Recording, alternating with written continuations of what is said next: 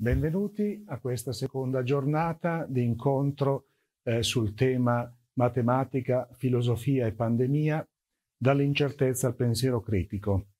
Ringrazio i due relatori di oggi, Antonietta Mira eh, dell'Università dell'Insubria e dell'Università della Svizzera Italiana e Armando Massarenti, eh, giornalista del Sole 24 Ore e collaboratore del CNR.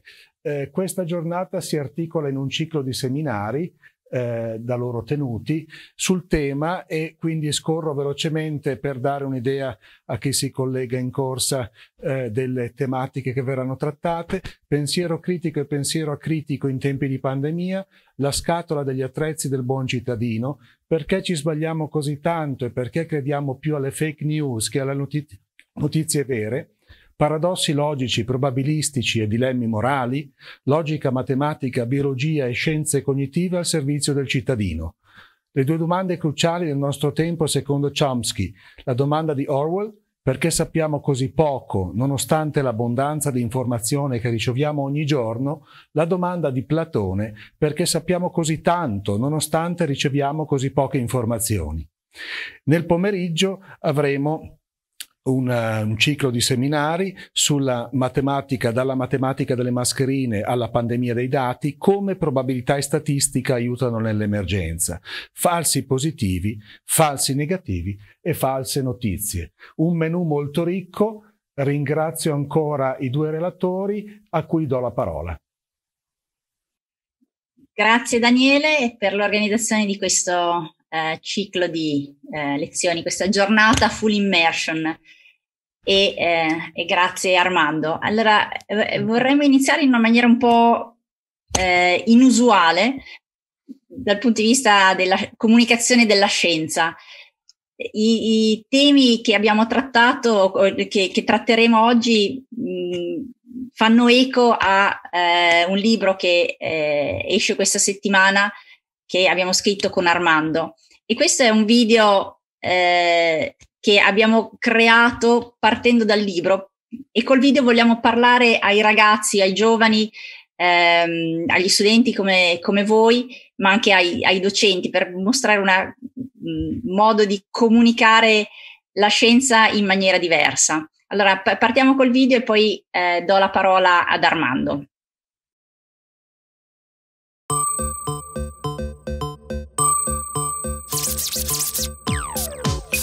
Quadrata di n, pi greco, curva gaussiana, andamento esponenziale. Numeri ci scocciano da tutta una vita e con la matematica una brutta partita, ma oggi la faccenda sta toccando il fondo, qui sembrano la cosa più importante del mondo. La tele ci frastorna con un mare di dati e adesso siamo tutti come ipnotizzati, con grafici, tabelle, proiezioni, istogrammi, la sera nei talk show si fanno solo dei drammi. E questi dati, ma dove li hanno trovati? Dati, ma chi li ha mai cercati? Dati, ma chi li ha elaborati? In mezzo a questi numeri siamo tutti scoppiati. Boom! La malattia dello stress per i dati sta dilagando e siamo tutti infettati. Ma per fortuna c'è un vaccino speciale ti basta leggere e capire un nuovo libro eccezionale.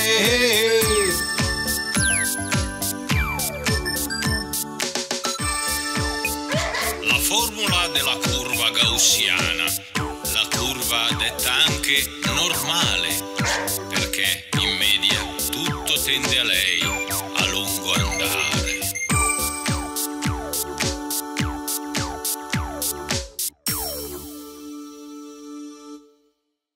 Ecco, quindi un modo un po' diverso di iniziare, ma comunque con tanti contenuti scientifici. Non so se eh, avete colto alla fine la formula della curva gaussiana che leggiamo, che cantiamo, in modo che resti poi nella testa delle persone. E eh, c'è un, un accenno al teorema del limite centrale, che è uno dei cardini della teoria della probabilità. Ecco, questi sono alcuni dei temi che eh, affronteremo in queste giornate e cercheremo di farlo in maniera eh, diciamo un po' diversa, partendo dai dati generati dal coronavirus, i coronadati, come li chiamiamo noi, e eh, questi coronadati ci forniscono lo spunto per approfondire tutta una serie eh, di temi eh, scientifici che eh, toccheremo durante questa giornata. Allora io lascio la parola a, ad Armando con cui sarete eh, fondamentalmente questa mattina e poi ci ritroviamo nel pomeriggio alle tre e mezza e, e condurremo il pomeriggio insieme.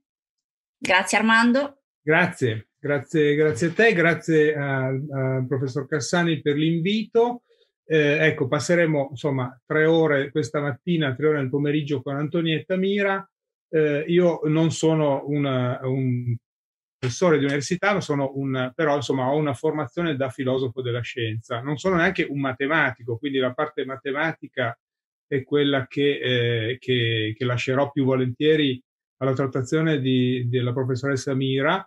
Ci siamo molto divertiti a scrivere questo libro insieme perché abbiamo messo insieme due punti di vista eh, in realtà molto convergenti fin dall'inizio, ma che partono da due competenze, almeno da una mia totale incompetenza in realtà per la scienza dei dati, invece, di cui invece è molto esperta Antonietta Mira, e da una mia competenza invece in ambito filosofico, come eh, io mi sono formato come filosofo della scienza all'Università di Milano con Ludovico Gemonat, e, che era l'ultimo quando ho iniziato io era il suo ultimo anno di insegnamento, e poi con Giulio Giorello, che anzi tra l'altro colgo l'occasione per ricordare che è una delle vittime illustri eh, di questa sciagurata pandemia che, che ci ha colpito, eh, come sapete ci ha lasciato nel giugno scorso. Ed è stato un grande maestro. Tra le grandi cose che ho imparato da lui è il fatto, intanto, vabbè, il suo grande amore per la libertà, eh, il suo grande amore per un pensiero libero e il suo grande amore per la scienza, ovviamente, perché eh, insegnando filosofia della scienza eh, è stato uno di quelli che, devo dire, l'ha insegnata eh, davvero nel solco del maestro eh, Ludovico Gemonat. Chi ha seguito peraltro la, la, l'incontro di ieri avrà notato che dietro eh, le, le, spalle di Fabio Minazzi tra i vari libri che c'erano, io guardo sempre cosa, quei libri che ci sono dietro le persone, eh, e c'era appunto l'enciclopedia di, eh, di Ludovico Gimona, che è ancora un punto di importante la storia del pensiero scientifico e filosofico e, mh, mm, eh, e appunto Monà è stato un grande maestro che ha formato tantissime persone per tantissimo tempo, aveva una, uh, un approccio diciamo, marxista-leninista, che invece Giorello ha sconfessato completamente. Quindi è stato maestro di libertà anche diciamo, nel tradire il maestro. Allora, una cosa fondamentale dei filosofi, del pensiero critico che io insieme ad Antonietta Mira cerco di divulgare eh, già da molto tempo e poi in questo libro lo facciamo in una maniera uh, nuova e originale, è proprio la capacità di critica anche nei confronti di chi ci, ci, sta spiegando le cose, di chi ci insegna le cose, ma la capacità critica è una cosa elaborata e complessa. Noi sappiamo bene che la, la filosofia, secondo ciò che ci ha insegnato Popper, nasce proprio da una... Lui enfatizzava un po' questo aspetto che c'era già, secondo lui, nei presocratici, i, eh, che eh, il tutto nasce dalla capacità di criticare in maniera efficace i propri maestri e la propria. Ecco, Giorello è stato un esempio di questo, ha portato avanti un programma di ricerca eh, molto libertario eh, che faceva riferimento eh, non più a Marx, al marxismo-leninismo. Tra l'altro ne abbiamo sentito un eco nella, nell'incontro di ieri con Sini che citava Engels, no? la dialettica della natura, di quel tipo di cultura. Eh, invece quella di, di Giorello è una cultura più vicina alla nostra pandemia dei dati, agli strumenti che noi cerchiamo di mettere nelle mani del, del, lettore in questo libro perché si rifà alla tradizione utilitarista, cioè a quel libertarismo che è strettamente legato eh, a eh, Jeremy Bentham, a John Stuart Mill, che sono anche dei grandi economisti, cioè quelli che stanno alla base del concetto appunto di utilità. Il concetto di utilità, poi vedremo se riusciamo, se riusciremo un po' a spiegarlo, in queste nostre chiacchierate è fondamentale per capire eh, proprio eh, certi modelli delle scelte degli individui. Ehm, ora voi direte cosa c'entra con la scienza dei dati, ma ci arriviamo e capirete, capirete per te, perché e che, che cosa c'entra con, con, il Covid e con appunto la capacità di leggere, di leggere i dati.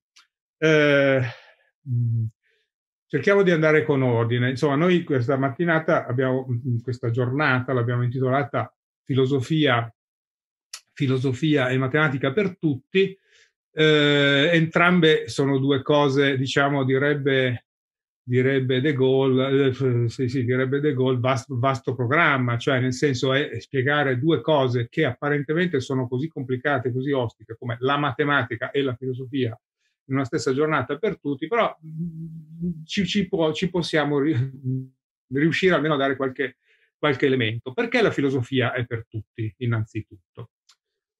Anzi, sarebbe, potremmo addirittura partire dalla matematica. La matematica non è per tutti perché è una cosa complicatissima, no? Se noi, qualunque tipo di scienza non è per tutti per definizione, eh, e forse la filosofia lo è un po' di più, ehm, perché è più legata alle nostre intuizioni di fondo, anche quelle, anche quelle, se vogliamo, quelle sbagliate, quelle che ci portano in direzioni sbagliate, ma che poi possiamo correggere eh, eh, mano a mano. La scienza invece, la matematica, per questo io non avrei mai potuto scrivere un libro come La pandemia dei dati senza avere eh, qualcuno che davvero fa quel mestiere lì, che da sempre ha sviluppato le competenze necessarie per sapere come funziona eh, la matematica, soprattutto la matematica legata alla probabilità, che a sua volta si lega all'utilitarismo, poi vedremo in che modi, di cui parlavo prima.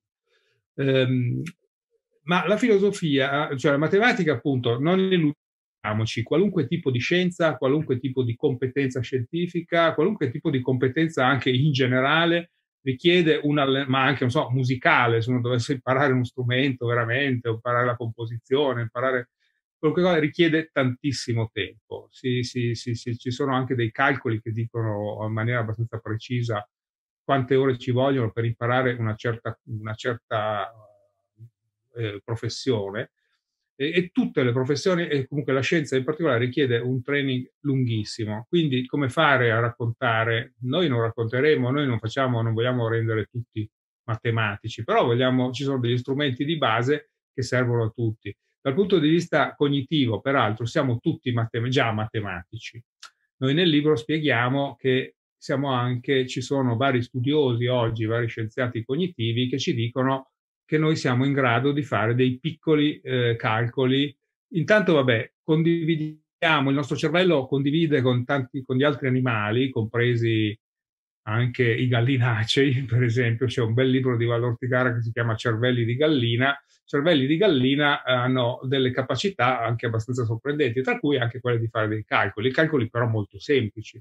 E anche il nostro cervello si orienta, ma solo su dei numeri abbastanza piccoli, in maniera naturale, se non è poi formato e quindi non è tanto quello che fa ehm, degli, degli, degli, esseri umani, di alcuni esseri umani poi dei matematici, non sono queste capacità, ma sono cose molto più complesse molto più complicate. Però bisogna fare tesoro di quelle nostre capacità, di capire come funzionano e come si possono poi, poi sviluppare. Quindi anche la matematica può essere per tutti un certo tipo di matematica e soprattutto cosa può condividere con la matematica, ma io direi anche un certo aspetto di curiosità del pensiero è anche un aspetto abbastanza giocoso. Allora, intanto io vi vorrei illustrare un pochino cos'è per me, secondo me, la filosofia, cosa è stata per me la filosofia nel corso della mia, della mia attività. Quindi in questo dovrò anche insomma parlare un po' di me stesso, della mia attività, per arrivare poi a quei temi che abbiamo enunciato come titoli di questa nostra mattinata, cioè appunto cosa sono le fake news, come bisogna attrezzarsi per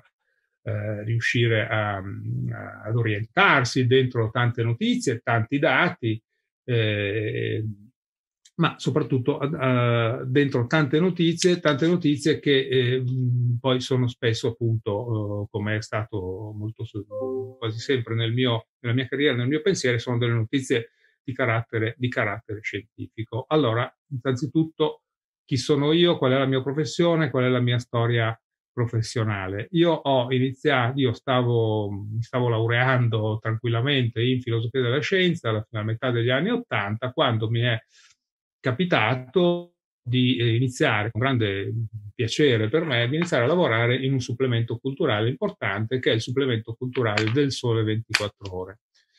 Eh, su, quindi ho dovuto pormi subito il problema di come si fa a trasmettere delle conoscenze elaborate all'università, in ambito universitario, delle conoscenze abbastanza sofisticate, come quelle di filosofia della scienza, storia della scienza, ma questa è stata una scelta mia, fatta allora con il, con il direttore di allora del giornale, e, e con l'idea che ci fosse uno spazio, una possibilità di trasmettere la scienza a un pubblico colto in maniera un po' diversa da come si faceva prima, da come in fondo adesso è un difetto quello che noi cercavamo di correggere che ancora adesso è abbastanza presente, cioè il supplemento della culturale, soprattutto a, a, quei tempi, ma lo è ancora oggi, eh, è ancora oggi così abbastanza, tendono a considerare cultura, alta cultura, tutto tranne che la scienza, diciamo.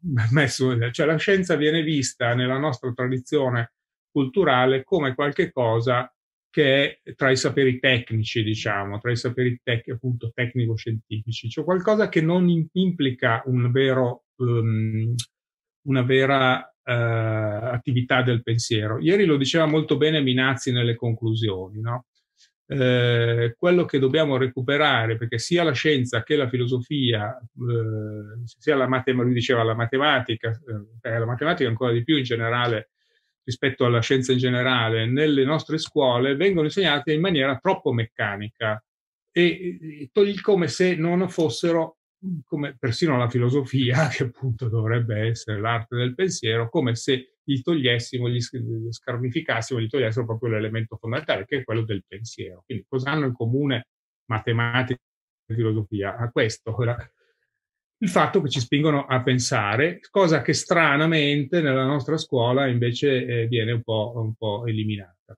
Eh, cosa, cosa, io invece pensavo che si dovesse fare, anche sulla scorta degli insegnamenti di J. Monà, di, di, di Giorello, che, ehm, che, erano i miei maestri in quel momento, anche se erano in, lotta tra di loro perché c'era, c'era stata questa separazione, da un, da un lato un libertario eh, milliano, bentamiano, utilitarista, dall'altro uno che continuava a mantenere la sua posizione eh, marxista-leninista, eh, però in comune cosa c'era? C'era questo grande amore per la scienza come il vero motore della conoscenza, come anche qualcosa di rivoluzionario, se vogliamo, nella nostra cultura. Cioè considerare la scienza come cultura era qualcosa che noi consideravamo veramente importante appunto che poteva davvero modificare un pochino l'assetto generale della nostra cultura in direzione di quell'unità del sapere di cui parlava ieri Sini. No? Carlo Sini ci diceva questo, noi dobbiamo recuperare questa idea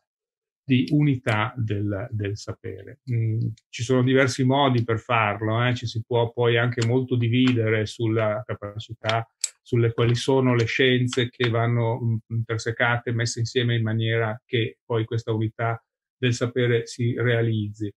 Ecco, io ho cercato in tutti questi anni, stiamo parlando appunto, ho iniziato molto presto, come vedete, io sono iniziato appunto a metà degli anni Ottanta, ho avuto la fortuna di avere però in mano uno strumento importante che mi ha permesso di capire un po' i cambiamenti culturali e anche se aveva un certo effetto tutto questo.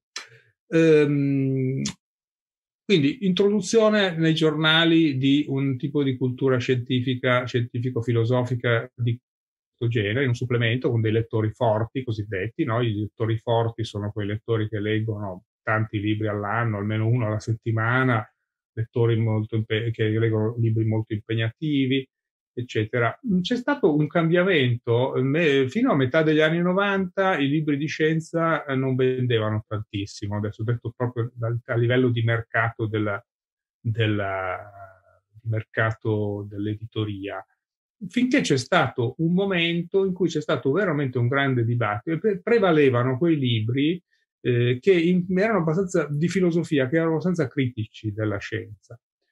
Ehm, e questo si riverberava, adesso qui sarebbe complicato, lungo raccontare tutti gli episodi. C'è un episodio divertente in realtà verso la fine de, de, degli anni 90 che, fa, che, ha fatto un po' esplodere questa cosa, la famosa beffa Sokal.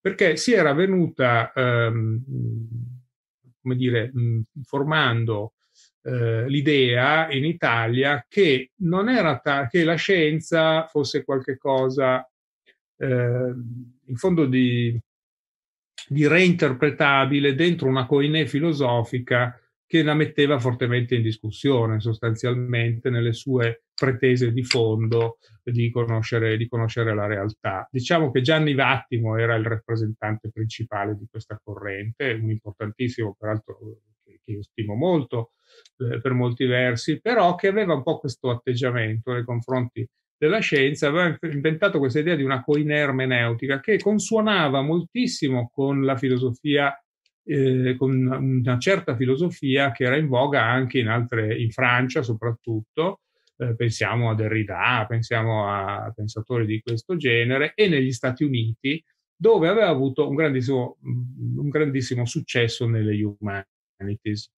eh, ma non nelle facoltà delle humanities che in realtà in, nel sistema degli Stati Uniti sono separati dalle facoltà di filosofia, quelle di Harvard, dell'MIT, eccetera, che sono più strettamente legate invece, invece alla scienza. Comunque nelle humanities c'era questa idea che nel mondo ormai la cosiddetta filosofia analitica, cioè quella vicina, più vicina al modo di pensare scientifico, eh, fosse del tutto, eh, del tutto eh, così una cosa arida, non, non, particolarmente interessante, e poi soprattutto ricompresa dentro questa coinè generale, e c'era questa distinzione comunque tra filosofi analitici da un lato e filosofi cosiddetti continentali. No? Gli analitici comunque erano quelli più di stampo anglosassone americano, continentali francesi, tedeschi, italiani.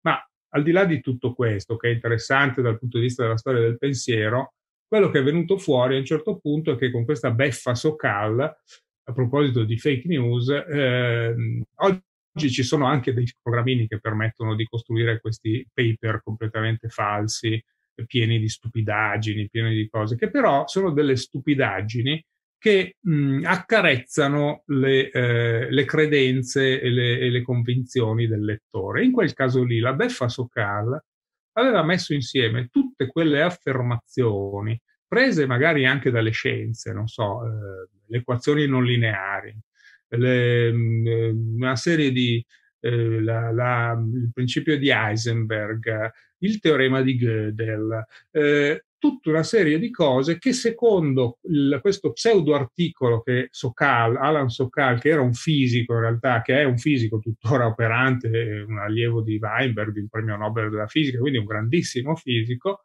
aveva messo insieme questa accozzaglia che accarezzava le convinzioni, diciamo, relativiste di questa eh, coinè ermeneutica che si era andata sviluppando eh, e che era proprio un crogiuolo di relativismo.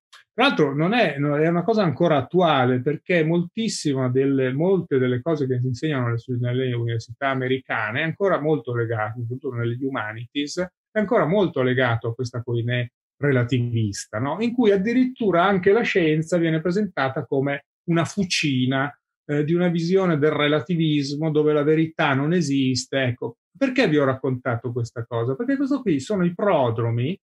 Ve l'ho, ve l'ho raccontato perché è un episodio importante, obiettivamente, della fine degli anni 90, perché è lì che tra l'altro a me era capitato proprio di gestire un dibattito con Sokal da una parte, questo fisico che ha fatto lo scherzo, e Vattimo dall'altra. Ed è stato quello lì il momento cruciale in cui si è capito che la scienza in realtà piace, interessa, è culturalmente appetibile e che se si fa un dibattito filosofico in cui si mette insieme un, un filosofo che nega alcune caratteristiche di verità che la scienza ci, ci divulga, sia pure in maniera del tutto fallibilista, eccetera, eccetera, come eh, eh, che, che, che se, se, c'è un dibattito di quel genere, può avere buone chance di, di, di, di fare presa proprio chi sostiene le ragioni della scienza. Eh, Sokal cosa aveva fatto? In cosa consisteva la beffa? La beffa è una cosa che poi purtroppo ce n'è ancora molte e, che dilagano e non nella maniera costruttiva di, di Sokal. Sokal aveva mandato a una rivista di queste del mainstream americano, degli humanities, di questo relativismo andante, questo testo, questo paper, con un titolo demenziale che adesso non mi ricordo, eh, è stato accettato dal comitato scientifico, pubblicato, discusso come un articolo interessantissimo, dopodiché lui su un'altra rivista eh, che, si chiama Lingua, che si chiama Lingua Franca ha pubblicato un articolo in cui spiegava che quello era un articolo condito volutamente di sciocchezze che potevano asseconda, che assecondavano le credenze eh, di quel tipo di pubblico di questa rivista Social Text che era appunto impregnata di mh, concezioni eh, di un certo tipo, insomma, di questa visione relativistica in generale che riguardava le scienze sociali, il, eh, la società stessa, diciamo, eh, ma soprattutto che si faceva eh, bella anche di una serie di affermazioni scientifiche o prese acriticamente dalla scienza per sostenere quella, quel tipo di, di cose. Allora, questo tra le varie cose che possiamo trarre da questa piccola storia che vi ho raccontato è che quando nel 2016 piano piano ci avviciniamo eh, ai dati, alla cosa, poi vedrete anche alla pandemia. Nel 2016 eh, abbiamo avuto le prime elezioni, le elezioni eh, la prima campagna elettorale di Trump. Vi ricordate che alla fine dell'anno c'è stato l'Oxford, Dictionary che ha eh, nominato parola dell'anno la post-verità. Ecco, questa post-verità, che poi è stata strettamente collegata alle fake news, che in quell'anno lì avuto, hanno avuto il loro massimo, eh, la loro massima diffusione proprio durante la campagna di Trump, non che fossero una novità, eh, appunto. Eh, questo è per dirvi che però questa idea di post-verità, questa idea di, di un relativismo eh, per cui poi ecco, in Italia abbiamo avuto la versione dell'uno vale uno, per cui le competenze non contano, che se ne importa se uno ha studiato tutta la vita una certa cosa, poi l'opinione del primo che passa vale tanto quanto perché viviamo in democrazia. Insomma, questa visione così stra- strana, ecco, strampalata della, della democrazia, cioè ha un'origine abbastanza lontana avere persino delle fondazioni, delle, delle, affondare persino in una moda filosofica, che durava da moltissimo tempo, diciamo da decenni, no? Ecco, una filosofia per tutti, secondo me, eh, deve avere come primo fine, primo fine che sia davvero per tutti, ma per tutti chi? Insomma, per tutti quelli che intendono appunto vivere una, una vita filosofica. Quindi adesso scusate il bisticcio, ma perché quelli che prendono la filosofia sul serio. Deve essere per tutti, lo dicevano bene i filosofi antichi. Qui faccio riferimento ad un altro punto, un punto di riferimento mh, mm, fondamentale per me, eh, per la storia della filosofia, per chi ha ricostruito dei pezzi importanti di storia della filosofia, che è Pierre Hadot. Non so se l'avete mai sentito nominare. Pierre Hadot è un grandissimo storico della filosofia che ha scritto dei libri che sono molto utili proprio per capire che cos'erano i filosofi antichi e cosa possono essere i filosofi moderni. E mh, il libro che ho scritto con Antonietta Mira per me è un po' la continuazione di una riflessione che, eh, che riguarda proprio delle modalità molto vicine a quelle che Pierre Hadot ci ha insegnato. Cioè cosa significa essere filosofi, abbracciare una vita filosofica piuttosto che ecco, innanzitutto abbracciare una vita filosofica. Secondo me la filosofia per tutti non è tanto che dobbiamo vivere boh, con uno stile eh, di, qualunque tipo e poi ci sono degli strumenti asettici che fanno sì che noi usiamo la filosofia. No, no secondo me, ha ragione Hadot, ehm, prima che la filosofia si... Qui, tra l'altro, vi dico una cosa che sembrerebbe lontana dalla scienza, ecco, cioè per dirvi che poi le cose sono, sono un po' più complicate di come... Mh, mm, questa, questo approccio di Hadot, mh, mm, diciamo che non è per niente l'importanza della scienza, che anche per gli antichi era, era fondamentale, però ci fa vedere la filosofia sotto un aspetto un pochino più eh, completo, cioè la formazione appunto di un buon cittadino, diremmo oggi. Però sostanzialmente qui sembrerebbe, mm, sembrerei negare l'idea della filosofia per tutti. La filosofia non è per tutti, ma appunto per quelli che, che fanno una certa scelta. La filosofia è uno stile di vita. Eh, diceva Platone che, eh, che, appunto una vita degna di essere vissuta è una vita piena di ricerca, è una vita piena di domande, piena di cose che, che, che non, non, diamo per scontate, diciamo, aggiungo io. No? Eh, lui era cattivissimo in questo, diceva c'è una vita che non è così e non è degna di essere vissuta. Adesso, ma io non arriverei a questo estremo, cioè secondo me nella società c'è posto per tutti, per quelli che vogliono avere una vita filosofica, quelli che non vogliono averla e se, se sono liberi di non averla. Siamo una società in cui ci sono quelli che pensano che i vaccini non servono a niente e secondo me sono stupidi, ma sono liberi di essere stupidi nel pensare quella cosa lì.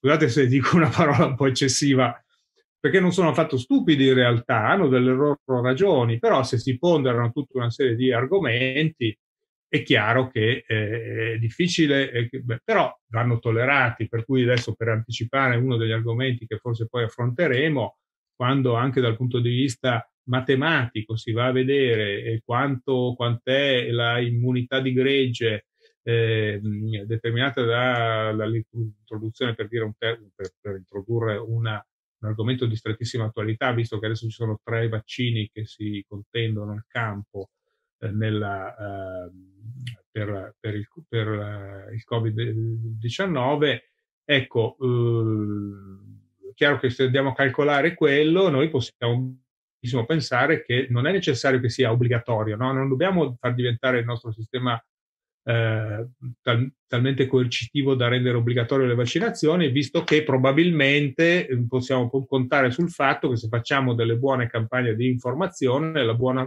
parte, la, parte, la, la, la percentuale che ci serve, che sia il 60%, il 70%, l'80% che ci serve per ottenere quella immunità, probabilmente riusciamo a raggiungerla senza negare le libertà fondamentali che, a mio parere, al contrario di Platone, diciamo, devono essere concesse anche a chi non fa una scelta particolarmente informata, fa una scelta, non ha gli strumenti, perché è chiaro che avremo sempre delle società dove i terrapiattisti, per esempio, sono sempre esistiti, non è che, ma sono una, una minoranza eh, abbastanza trascurabile, ecco, cioè dargli troppa importanza sarebbe anche, anche sbagliato. Allora, scusate la parentesi, in realtà torniamo a quello che ci interessa di più.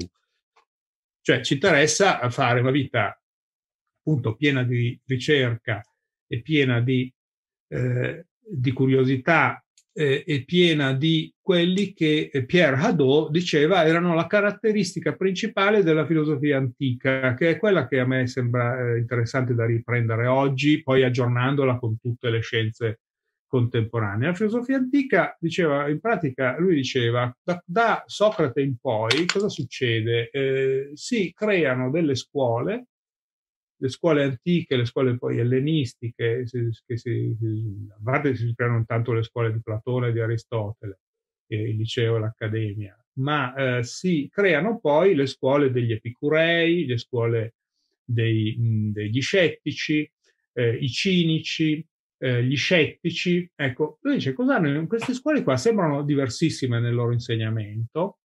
Ehm, gli scettici mettono in del tutto, hanno, eh, il, gli stoici hanno invece un'idea della conoscenza completamente diversa, eh, gli epicurei, vabbè, secondo una vulgata sarebbero quelli che mettono il piacere davanti a tutto, ma in realtà non hanno fatto, se uno va a leggere bene Epicuro e vede anche quali erano le pratiche filosofiche, questo cliché non, ha nessun, non attecchisce minimamente, perché anzi anche quello era una forma di saggezza, di capacità di ponderare mettere in equilibrio le passioni la ragione, eccetera. E però in comune, diceva Hadot, a cosa hanno?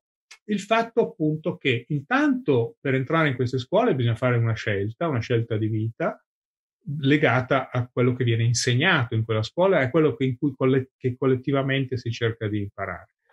E poi che per imparare e per consolidare le proprie conoscenze eh, non solo le proprie conoscenze, per consolidare quel modo di vita, eh, i filosofi antichi, dice Adò, facevano dei continui esercizi spirituali. E qui poi arrivo alla modalità che secondo me è importante e confacente anche poi che trova poi espressione anche nel nostro libro, che è fatto di tanti capitoletti, poi capiremo perché, di capitoletti e di tante appunto esercizi. Che tipo di esercizi erano quelli? Esercizi filosofici e filosofico-matematici in questi casi quando è necessario. E io ho cercato di elaborare appunto una modalità che si legasse a questo, una modalità di divulgazione della filosofia, che fosse anche un mettere in moto il pensiero, legato a questa idea bellissima, credo, di, di Hadot, che praticamente Hadot ci dice due cose fondamentali. Uno, che quando si sceglie questa vita filosofica è come se noi mettessimo in gioco noi tutti noi stessi, no? Cioè non è che semplicemente è un pezzettino, è una cosa che fa parte di chi siamo, di cosa vogliamo essere, del tipo di vita che vogliamo scegliere, dello stile di vita appunto che vogliamo scegliere, lo stile di vita filosofico. Dentro questa cosa qua, faccio l'esempio, mi soffermo soltanto sulla scuola degli stoici. Gli stoici dividevano loro, questo loro aspetto degli esercizi spirituali, come li chiamano Do, in tre discipline. Etica, eh, diciamo in tre discipline di fondo, insomma, etica, fisica e logica. Sono le tre cose che servono ancora adesso, ci servono ancora oggi. L'aspetto pratico prevaleva su tutte queste cose. In che senso l'aspetto pratico? In che senso era una filosofia pratica?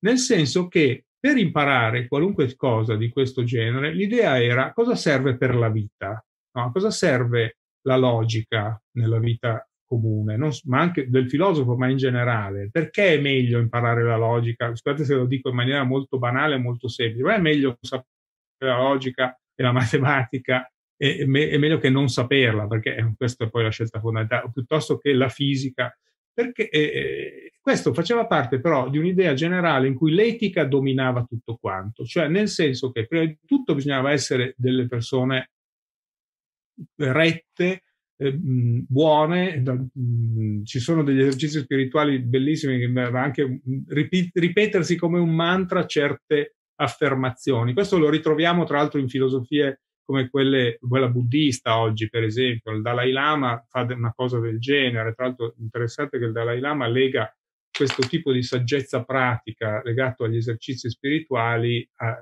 veramente molto simile alla Do, eh, proprio alle neuroscienze, agli studi delle neuroscienze. Le persone più felici nel mondo, che hanno il cervello conformato per essere più felici, sono quelle che hanno maggiori capacità anche di meditazione, per esempio, di fare questi esercizi quotidiani di continuo rielaborazione di principi etici innanzitutto e di continuo esercizio della, dell'eliminare l'autoinganno, cioè ciò che ci autoinganna continuamente. C'è un esercizio, bel, per esempio Marco Aurelio, che era il filosofo, eh, un filosofo importantissimo della tarda mh, antichità, che era un imperatore, eh, condivide, faceva degli esercizi, ma so, facevano degli esercizi tipo il volo stellare, insomma, la cosa di oggi potremmo farlo in maniera molto più elaborata di allora. Per loro l'idea era semplicemente prova a immaginare di volare sopra le teste degli uomini, sopra le città, sopra la terra, finire nell'universo e riguardare le cose da quel punto di vista lì. Allora ridimensioneresti moltissimo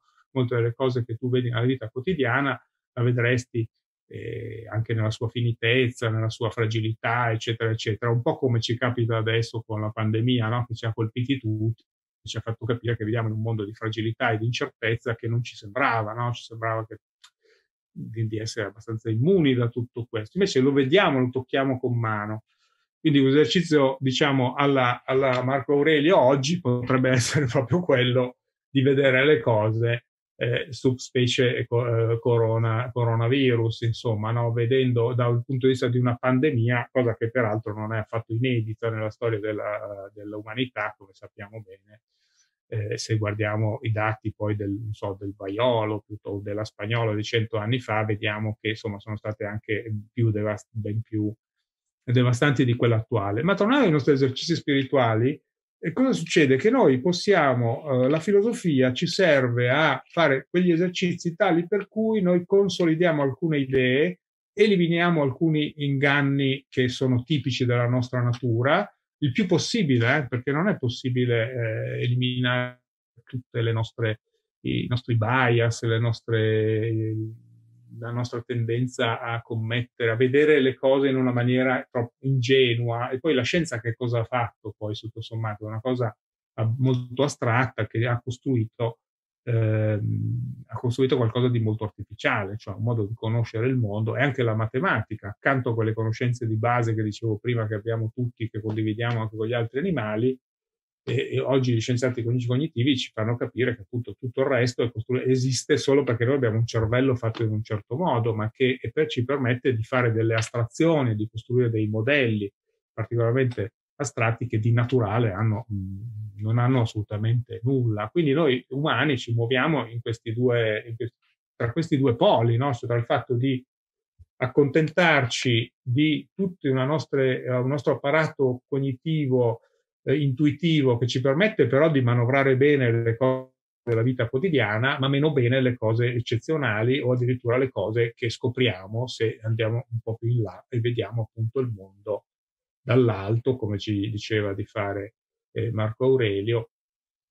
e, e, e, tanti altri filosofi antichi. Allora, se noi prendiamo etica, logica e eh, fisica, è chiaro che ci, perché ci interessa essere, eh, ci interessano, interessavano per gli stoici era importante tutto questo, perché in questo loro esercizio che serviva a costruire quella che Adò chiama una, una sorta di cittadella interiore, cioè la capacità di attraverso cosa che questo può essere non del tutto condivisibile oggi, io non credo che il filosofo debba costruirsi questa specie di, di muraglia no? attraverso la quale si difende da tutto il resto, però una sua utilità ce l'ha, l'idea di costruire una cittadella interiore attraverso la quale domini le passioni, domini i desideri che ti portano eh, su, che, che, che, sono fallaci, eh, domini eh, anche la realtà, la fisica ti serve a sapere come stanno le cose, la, la, logica ti serve a sapere come si ragiona bene, perché è meglio essere una persona che sa come stanno le cose piuttosto che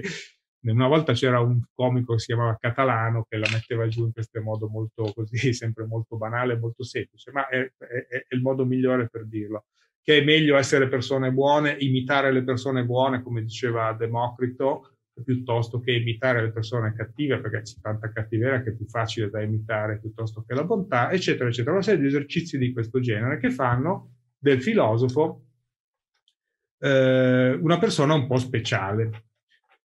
Anche oggi uno potrebbe dire, adesso io mi sono ecco. divertito a fare tante, ecco, mi sono divertito, insomma, nel corso di tanti anni ho scritto vari libri di divulgazione filosofica, tra cui ho scritto dei libri, dei libri per bambini, che uno si chiama Strani tipi questi filosofi, sono i presocratici, l'altro si chiama Socrate, quella di l'adorabile rompiscatole, e l'altro, un altro ancora si chiama Platone, l'uomo invisibile. Ecco, una delle caratteristiche eh, della, eh, della, della filosofia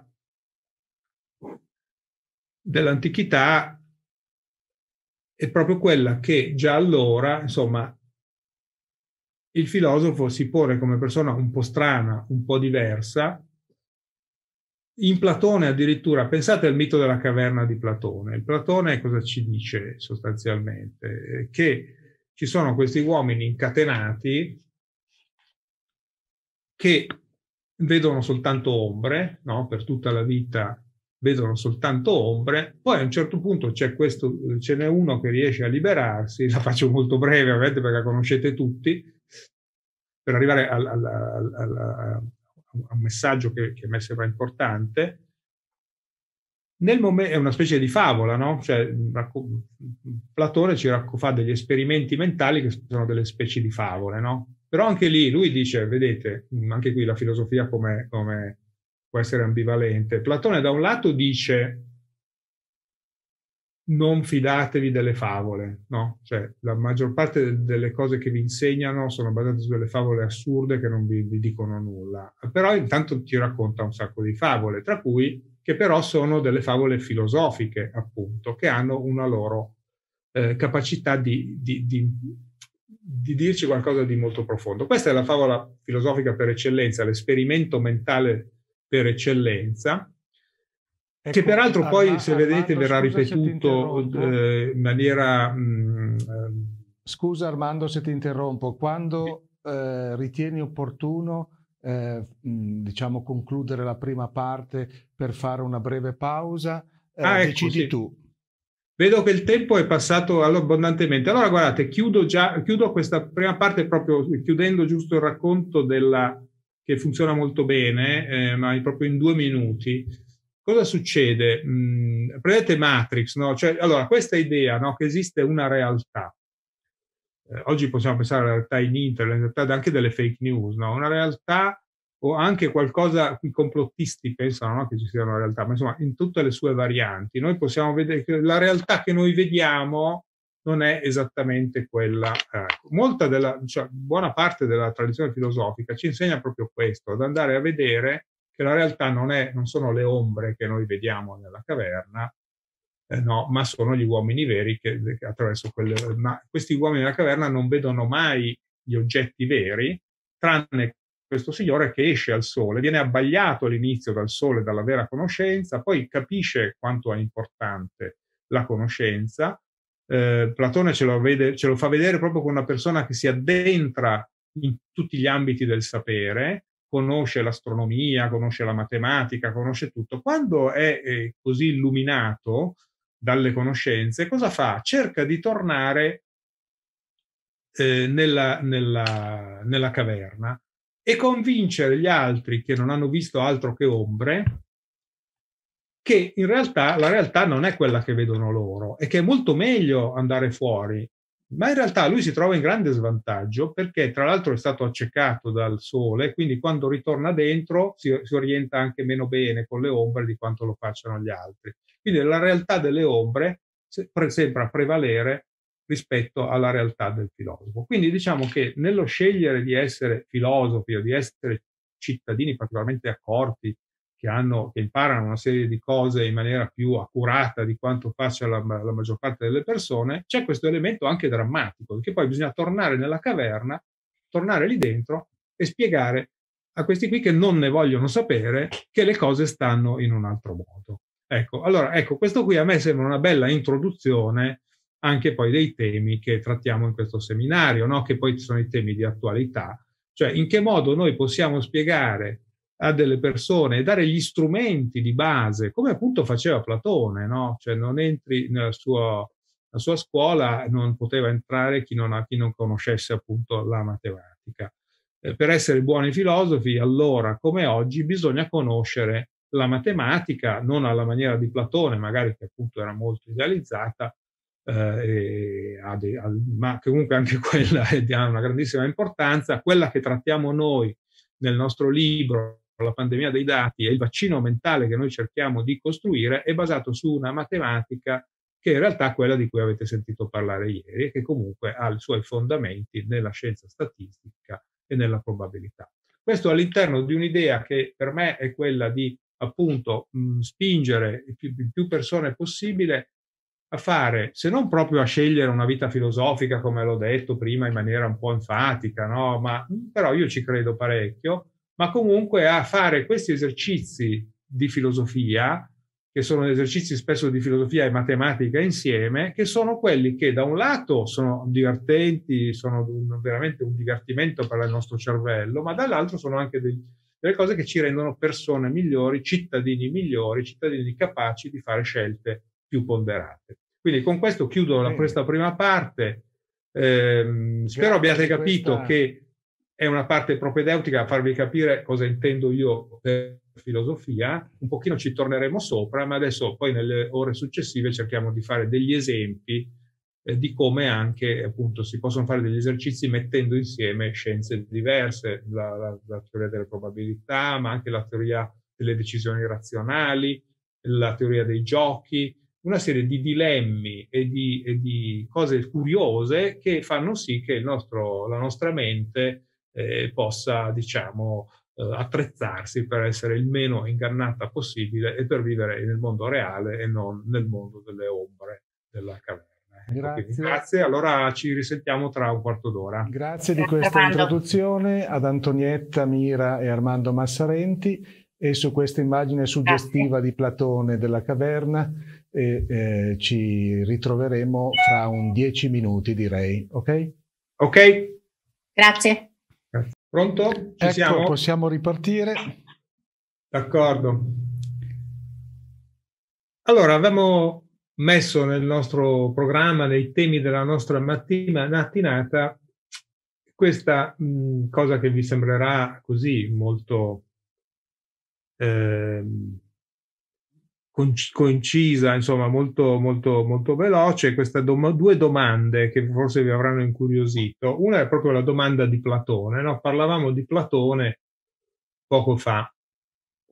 Una domanda fondamentale che tra l'altro attraversa le pagine del nostro libro questa domanda perché noi in fondo sappiamo così tante cose anche se in fondo molte di queste cose nessuno ce le ha insegnate. No? Questa è una delle caratteristiche cognitive del nostro, del nostro uh, cervello. Cioè, non vale solo per gli esseri umani, eh, tra l'altro, sappiamo che c'è tutta una parte innata anche negli altri animali.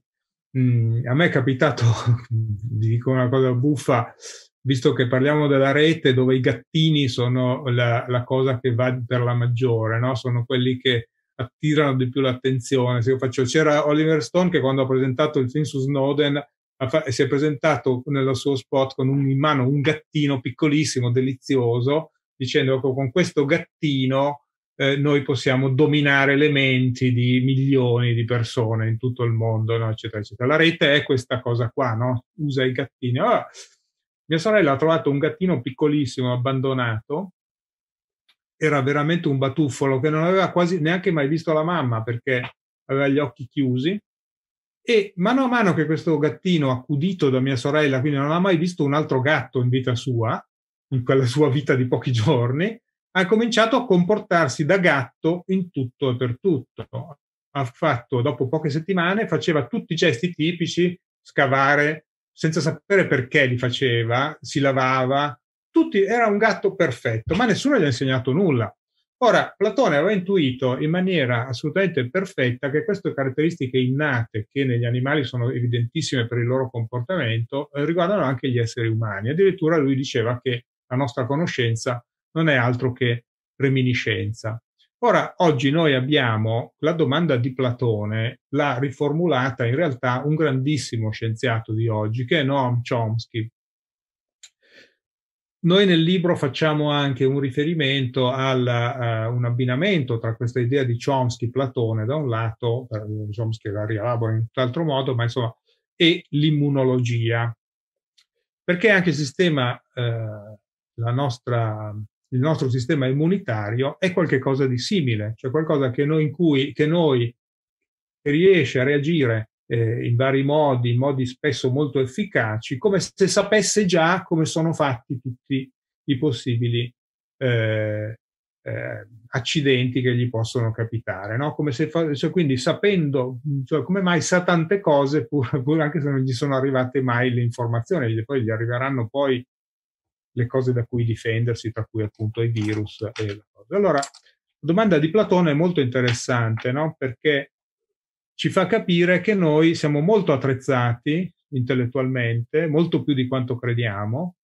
Molto spesso, appunto, quando ci spiegano una cosa ci sembra di ricordarcela come se già la sapessimo, ma soprattutto, ci dice Chomsky, eh, siamo determinati ad avere una facoltà fondamentale, che è la facoltà linguistica, cioè la competenza del linguaggio. Cioè, mentre tante altre competenze ce le dobbiamo conquistare, compresa quella matematica, anche se in parte eh, c'è qualcosa di innato anche nella parte matematica, per quanto riguarda la competenza linguistica, siamo un po' come il gattino di cui parlavo prima. Ah, basta che ci. Che, eh, cioè, è vero che dobbiamo essere immersi in, in, una qualche situazione linguistica, però i bambini imparano ad una velocità stratosferica. No? Allora, che è strano, no? Imparano a volte, c'è un, una fase che è descritta da Chomsky in cui i bambini imparano 600 parole al giorno. Allora non è solo l'esperienza che li aiuta, poi bisognerebbe spiegare bene, cioè, eh, però questa parte innata si collega chiaramente anche a una parte di esperienza, ma le esperienze che noi facciamo hanno degli effetti incredibili proprio perché sappiamo già moltissime cose, perché appunto abbiamo già delle caratteristiche, si chiama povertà dello stimolo questo in letteratura, abbiamo degli stimoli mi- minimi. Mm, nel caso del gattino, per esempio, se qualcuno gli spiega che deve scavare dove c'è la terra, perché per quel gattino che cui facevo riferimento scavava ovunque si trovasse, ma se uno gli spiega che, che, a cosa serve quel gesto lì, in genere è la mamma gatta che glielo fa vedere una volta, basta che glielo faccia vedere una volta e lui impara questa cosa. Ora, oggi si è scoperto che questa cosa funziona molto bene anche con gli esseri umani, ci sono, e anche addirittura nel campo della probabilità, della scienza delle probabilità. Se noi facciamo vedere un esempio ben scelto eh, di, di, qualche cosa, soprattutto che riguarda l'insegnamento morale, e questa è una delle cose interessanti che sono state. Eh, facciamo vedere un esempio ben scelto, poi la, la, abbiamo una mente che ci permette di imparare molto velocemente una serie di cose. Quindi noi dobbiamo fare tesoro di queste conoscenze che noi abbiamo. Però c'è un'altra domanda inquietante che sempre riguarda il mondo platonico, che è quella di Orwell, che Chomsky, queste sono tutte due domande che aveva, Chomsky aveva fatto questa sintesi meravigliosa secondo me, di quali sono le due domande più importanti in assoluto che, che ci dobbiamo porre. E se l'era posta nel 1984 in una prefazione al libro famoso di Orwell che si, intitolava appunto 1984, che è questo romanzo distopico no? dove, viene, dove c'è il grande fratello che domina sulle nostre, sulle nostre coscienze un, con certe modalità particolarmente inquietanti. E lui diceva rispetto a questo che la forma di manipolazione, già allora, eh, siamo nel 1984, con internet la cosa si è moltiplicata all'inverosimile, come mai sappiamo così poco? Questa è la domanda di Orwell, è proprio speculare a quella di, di Platone. Come mai sappiamo così poco anche se siamo così pieni di informazioni? E qui siamo alla pandemia dei dati, ma non solo alla pandemia dei dati, siamo alla, alla infodemia, eh, appunto, che poi più o meno è sinonimo della nostra pandemia dei dati, e siamo anche alla, a questa divulgazione eh, eccessiva di notizie. Se ne parlava ieri proprio a causa, a, a, in relazione al Covid-19. Noi abbiamo delle televisioni che dalla mattina presto fino a notte inoltrata non parlano altro che di coronavirus. Ora, questo parlare continuamente di questi argomenti tutte, alla fine è un sovraccarico di informazioni che fa sì che sappiamo molto meno di quanto potremmo sapere se queste informazioni fossero organizzate in un certo modo. Allora, nostro, l'idea del nostro libro qual è? È quella che dobbiamo costruire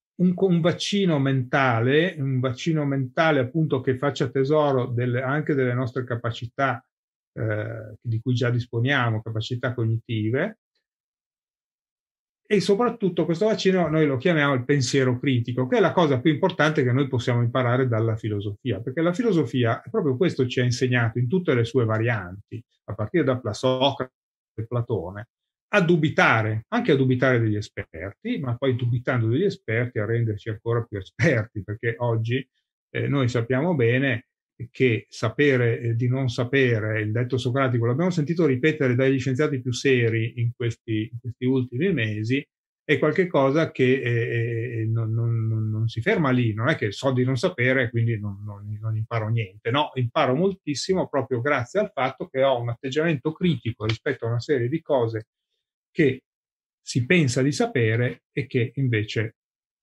allora, una delle cose di cui dobbiamo essere consapevoli è proprio la nostra natura, la natura umana, cioè in che cosa consiste quella capacità che noi abbiamo istintiva di, eh, di già sapere un sacco di cose e soprattutto ci conduce sempre nella maniera più corretta. Il pensiero critico serve anche a questo, cioè serve a renderci conto che le nostre capacità, le nostre facoltà possono anche ingannarci. Ora, vorrei fare riferimento mh, a una descrizione, se vogliamo, della natura umana che ci può essere particolarmente utile e di cui parliamo, parliamo nel libro.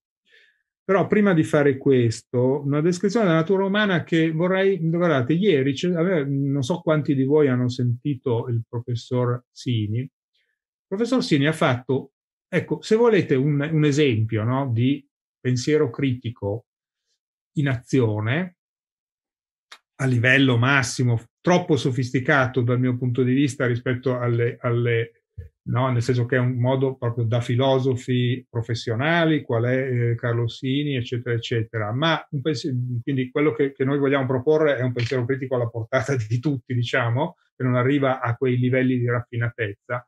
Però è un bel esempio, quello che avete sentito ieri, proprio di pensiero critico che mette insieme una serie di conoscenze molto ben fondate per arrivare ad una conclusione pratica che, che, che, era poi quella di stampo liberatorio, no? cioè lui in fondo il discorso di Carlo Sini aveva questa nobiltà di fondo no? di volerci dire, eh, farci pensare ad un pensiero emancipatorio che prende, eh, che si alimenta no? rispetto ad una serie di conoscenze, in particolare le conoscenze biologiche, per poter eh, fare sì che ne facciamo tesoro e, il, eh, e ci liberiamo da una serie di manipolazioni, da una serie. Ecco, lui diceva proprio che addirittura eh, la, uh, l'epigenetica è qualcosa che va a influenzare, che ha molto a che vedere, in cui la cultura, il certo modo di organizzare la società, addirittura va a influenzare i geni. Ecco, allora, è una visione un po' estrema quella di, di Sini, però si può fare uno stesso esercizio filosofico facendo vedere che noi teniamo conto di una serie di fatti, no? di fatti di come è fatta la nostra natura e cerchiamo con, con intenzioni simili di fornire degli strumenti mentali che sono appunto per noi il pensiero critico e a mio parere devo dire che questo è un modo più abbordabile eh, per la gente comune, cioè nel senso che noi dobbiamo renderci conto di questo.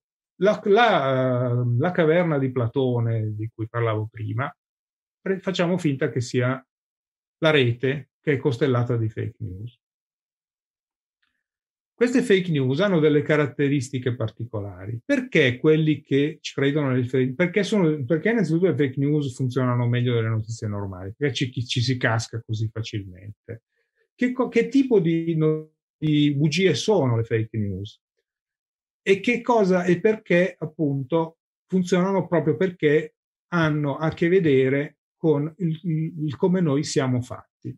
Insomma, i dati che voi, di cui c'è una quantità infinita eh, che viene, poi deve essere gestita attraverso la scienza dei dati, hanno purtroppo questa caratteristica di poter essere messi nelle mani di persone eh, che eh, che le possono manipolare. Allora, guardate, partiamo da una cosa che è successa durante il Covid-19, molto significativa. A un certo punto, no, se voi andate sui, eh, a fare una ricerca qualunque su Google eh, o qualunque altro motore di ricerca, o comunque se vi orientate in vari modi, ma anche su Amazon, anche su cose, avete questa impressione molto forte alla quale spesso ci si abbandona in maniera del tutto acritica. Ecco, no, la nostra mattinata è pensiero critico, pensiero acritico. Ecco, qui siamo nella dimensione del pensiero acritico. Cosa succede? Io faccio una ricerca su Google, le vengono, come dire, mh, mm, eh, accarezzate continuamente le mie credenze precedenti, cioè mi si profila attraverso tutte le, le, le scelte che io ho fatto variamente su internet e mi si danno delle risposte attraverso Google, per esempio, che sono che mi, che mi accontentano, che mi, che mi confermano nelle mie credenze di fondo, quindi che fanno di me sempre di più una persona ben lontana dal filosofo di cui parlavamo prima, ma di una persona molto dogmatica, no? cioè che ha delle credenze che vengono continuamente consolidate, cioè mai mi si dice una cosa che potrebbe confutare il mio sistema di conoscenze e di credenze. Cosa è successo durante il coronavirus?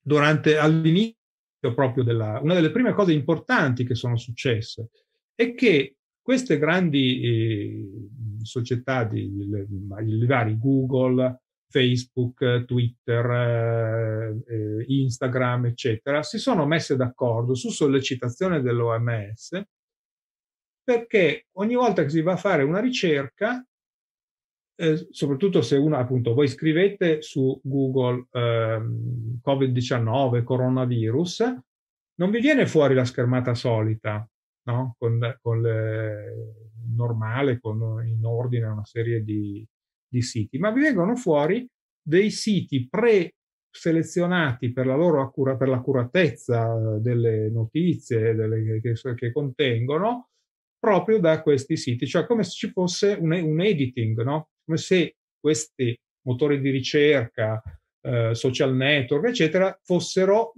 ammettenti a un certo punto di essere degli editori. Questo è uno dei dibattiti degli ultimi anni. No? Sono dei meri strumenti neutri in cui ognuno poi sono poi singoli che scrivono le cose, riempiono i contenuti, o anche loro in qualche modo sono gli editori responsabili anche delle bugie che magari vengono scritte. No? Avrete visto che Trump è stato spesso eh, oscurato no, da Twitter negli ultimi tempi, no? quando le sparava grossissime. Ecco, allora questa è una cosa che dovrebbe farvi pensare, no? Cioè dovrebbe farvi pensare in positivo che d'accordo hanno fatto una cosa giusta questi signori, no? Cioè hanno messo delle, in condizione i cittadini di, eh, di ricevere immediatamente le notizie più consolidate, le notizie più credibili, no?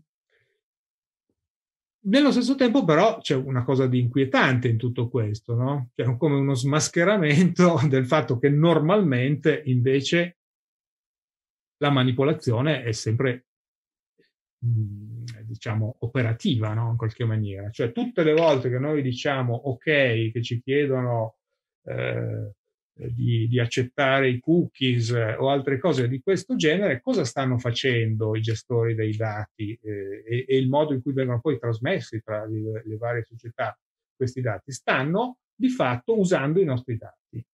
Ehm, c'è un bel, un bel, documentario fatto da Netflix, Netflix eh, che si chiama Social, Dile- Social, The Social Dilemma, se non ricordo male, che dice eh, proprio questo, cioè quando il servizio è gratis eh, vuol dire che la merce sei tu, cioè la merce siamo noi, siamo noi che diciamo usa pure i miei dati come cavolo ti pare, no? Usa anche il fatto che io sono qua in questo momento in questo sito a guardare queste notizie e poi tu fallo sapere a quell'altro e quindi magari sto cercando, banalmente sto cercando un stivali, poi tutte le volte che faccio un'altra ricerca mi appariranno degli stivali, eh, come dire, ma li hai già comprati gli stivali, eccetera, eccetera. Questo a volte è particolarmente evidente, particolarmente fastidioso, ma ci sono anche modi ovviamente più subliminali, più sottili. Questo implica il fatto che eh, potenzialmente la rete ci può, ci può manipolare, che i dati implicano una forte eh, spinta eh, manipolativa di questo tipo. Ma su cosa fa presa questa spinta manipolativa? Cioè, qui siamo nella caverna di Platone, no? Rediviva, ma in tutt'altro, in tutt'altro modo.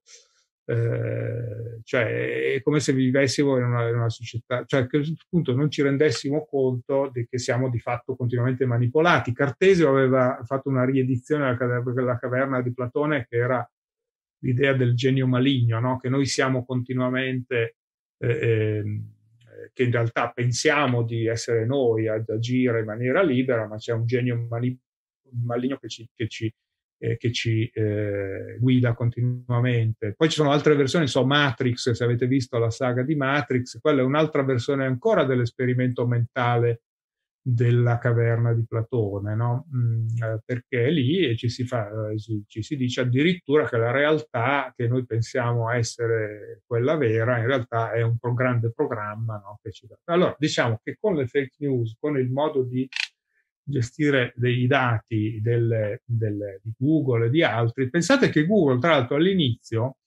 non aveva affatto queste caratteristiche. Quando è nato eh, aveva proprio delle caratteristiche opposte. Se uno andava a cercare qualche cosa in Google, ehm, siccome il sistema era molto simile a quello delle, eh, del, che, che, si usa nella scienza normalmente, no? cioè nel senso del, del, um, degli indici di citazione, delle, di quanto una, un articolo è citato da altri, quello loro lo facevano con i siti, cioè più un sito è linkato da altri, eh, eh, più probabilmente autorevole. Quindi nelle prime ricerche c'era una certa oggettività. Quando Google non aveva ancora adottato questo sistema spudoratamente, mh, diciamo, eh, eh, atto a blandire le nostre, le nostre credenze, le, nostri, le nostre preferenze già espresse in precedenza, uno aveva una certa oggettività, naturalmente dipendeva dall'argomento, no? se l'argomento era molto soggettivo, l'oggettività era minore, ma se io cercavo una, una cosa in biologia o in qualunque altra scienza, mh, ero abbastanza difeso dalle fake news, anche dallo stesso meccanismo di Google, questo nei primissimi anni. Poi invece i social network e i, i, motori, i motori di ricerca sempre di più hanno accentuato questo meccanismo della... Ora, questi mh, i motivi per cui funziona molto bene questo apparato, diciamo, manipolatorio, eh, che ci rimanda appunto al Grande Fratello 1984, la domanda di Chomsky, perché appunto sappiamo così poco pur avendo così tante informazioni, e che fa presa proprio sulla nostra natura, sulla natura umana. Noi siamo portati nel libro, per esempio, facciamo, spieghiamo con un esempio, un esempio matematico eh, molto semplice, cos'è il confirmation bias. No? Confirmation bias è una cosa molto precisa, scoperta da uno psicologo già diversi decenni, decenni fa, si può fare un esperimento molto serio, che tra l'altro ci spiega anche che cos'è il pensiero critico. Il pensiero critico, alla, cioè quando noi vogliamo uscire dal, dal, dal confirmation bias, abbiamo fatto già un piccolo passo in avanti verso il pensiero critico. Cioè, se io vi dico, eh, vi, faccio, vi dico una serie di, eh, di vi dico una serie, delle serie di numeri, no? Vi dico 2, 4, 6 e vi sfido a trovare qual è la regola che ha generato questa, uh, questa piccola sequenza, no? Una cosa molto semplice. No? Allora, la prima cosa che ci viene in mente è dire che si tratta di cosa? Dei numeri pari, no? Quindi la regola quale sarà? Che sono basta eh, saltare sempre un numero, no? E allora quindi la, la, serie potrebbe andare avanti, no? Io ho detto 2, 4, 6, sarebbe 8, 10, 12. Però se io, vi, voi, voi, mi proponete questo, no? È vero che è la prima cosa che viene in mente, immagino, no? Voi mi proponete questo e mi dite, questa è la regola? Io vi dico, no, non è la regola. Dice, cavoli, non è la regola.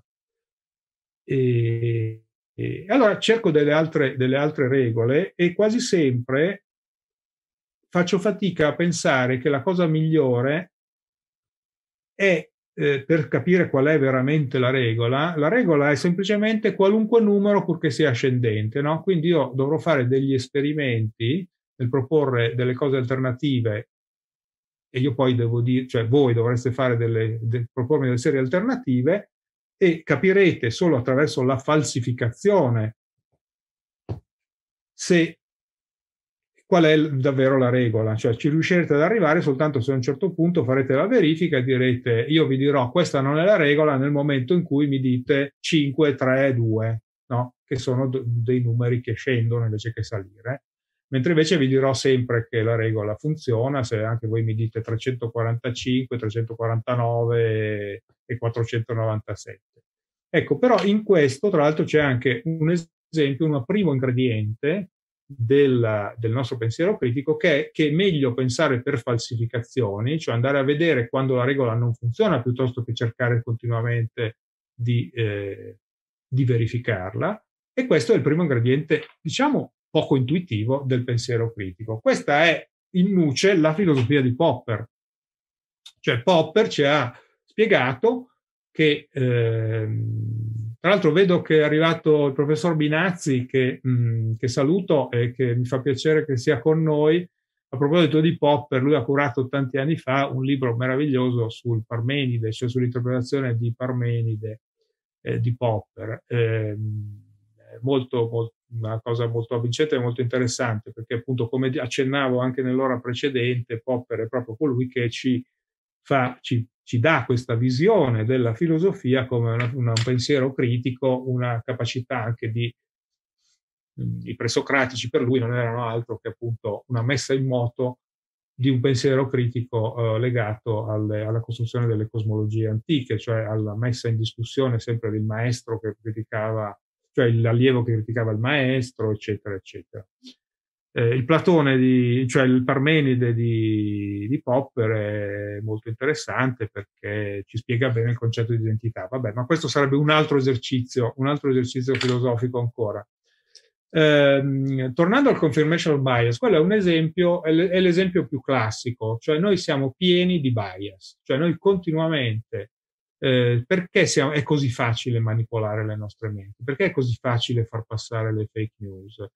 Perché questo meccanismo è micidiale, cioè questo meccanismo della conferma, del fatto che vale nel, una semplice regola matematica come, come quella che vi, ho, che vi ho detto, non cercare una semplice regola come quella che vi ho detto prima, ma eh, è usato appunto in Google che cosa fa? Ci conferma in continuazione.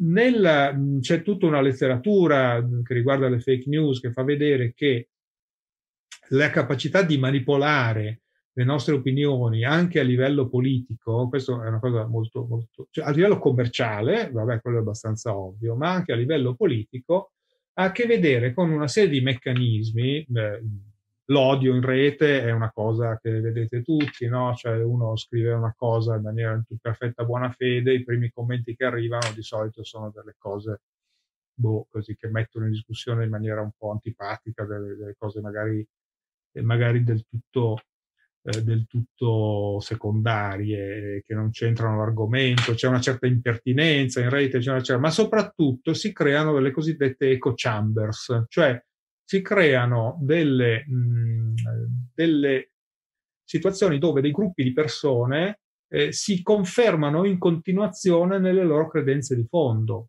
Ora, tutto questo, io dicevo all'inizio che sarebbe interessante mostrare una certa visione della natura umana. Ecco, la natura umana, se ci sono una serie di studi di antropologi, psicologi, eh, che fanno vedere perché certe fake news funzionano a partire dalla descrizione appunto della natura umana. La natura umana tendenzialmente il nostro cervello non è fatto per avere mh, come in Facebook eh, 3.000 amici. Noi abbiamo pochi amici veri, no? poche, per, poche relazioni si è calcolato che le relazioni vere eh, che noi abbiamo, quelle più strette, sono di una decina, una ventina di persone, ma poi che la nostra tribù, tra virgolette, uso non a caso questo termine, è di 150-200 persone.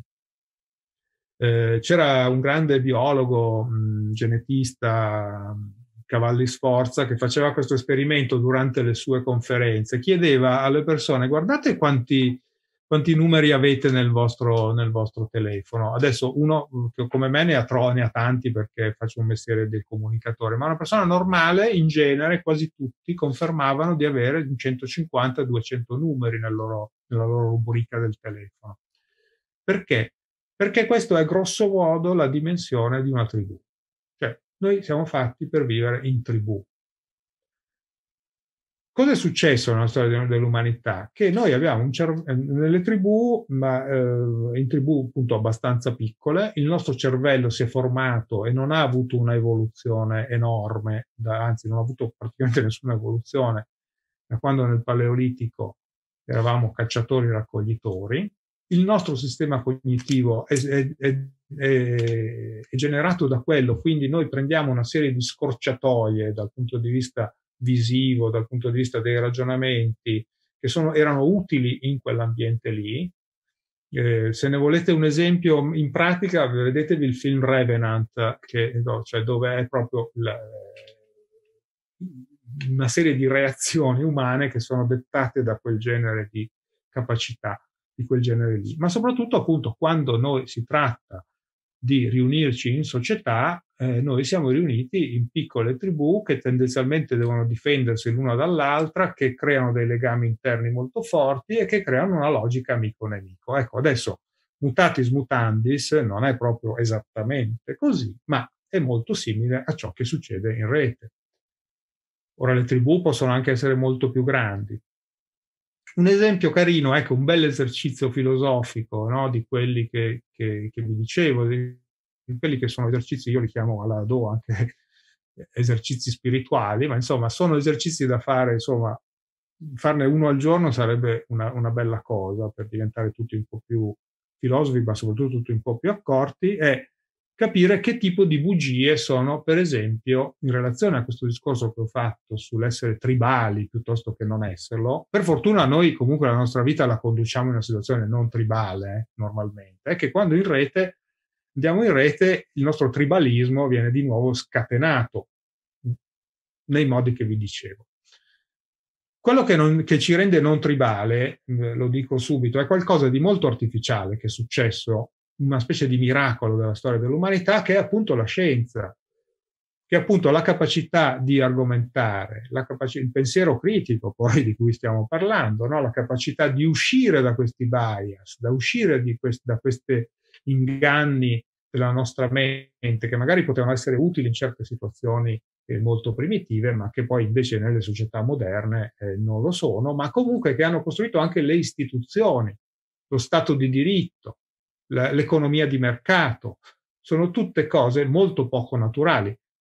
Prima cioè, parlavamo di Marx, Engels, eccetera. Se voi, voi, prendete la descrizione che fa Marx del mercato, è esattamente questo, cioè la cosa che distrugge eh, certe nostre modalità intuitive eh, ma e lo dice in, in, termini quasi elogiativi, ecco, vi potrà sembrare che Marx parli bene del mercato, ma in realtà ne parla anche, cioè è chiaro che poi fa un passo avanti, ne mostra anche tutti i limiti e perché dialetticamente andrebbe, andrebbe superato, ma quando lo descrive, lo descrive come qualcosa che effettivamente e anche meritoriamente distrugge certe, certe nostre credenze che in effetti sono quelle che ci rendono più primitivi di quello che dovremmo essere. Quindi la modernità la grande crescita che noi abbiamo avuto, la scienza, il grande benessere che noi abbiamo oggi dipende dal fatto che ci siamo staccati da quella nostra natura, la natura tribale di cui dicevo prima, che però permane, cioè il nostro cervello è ancora fatto così.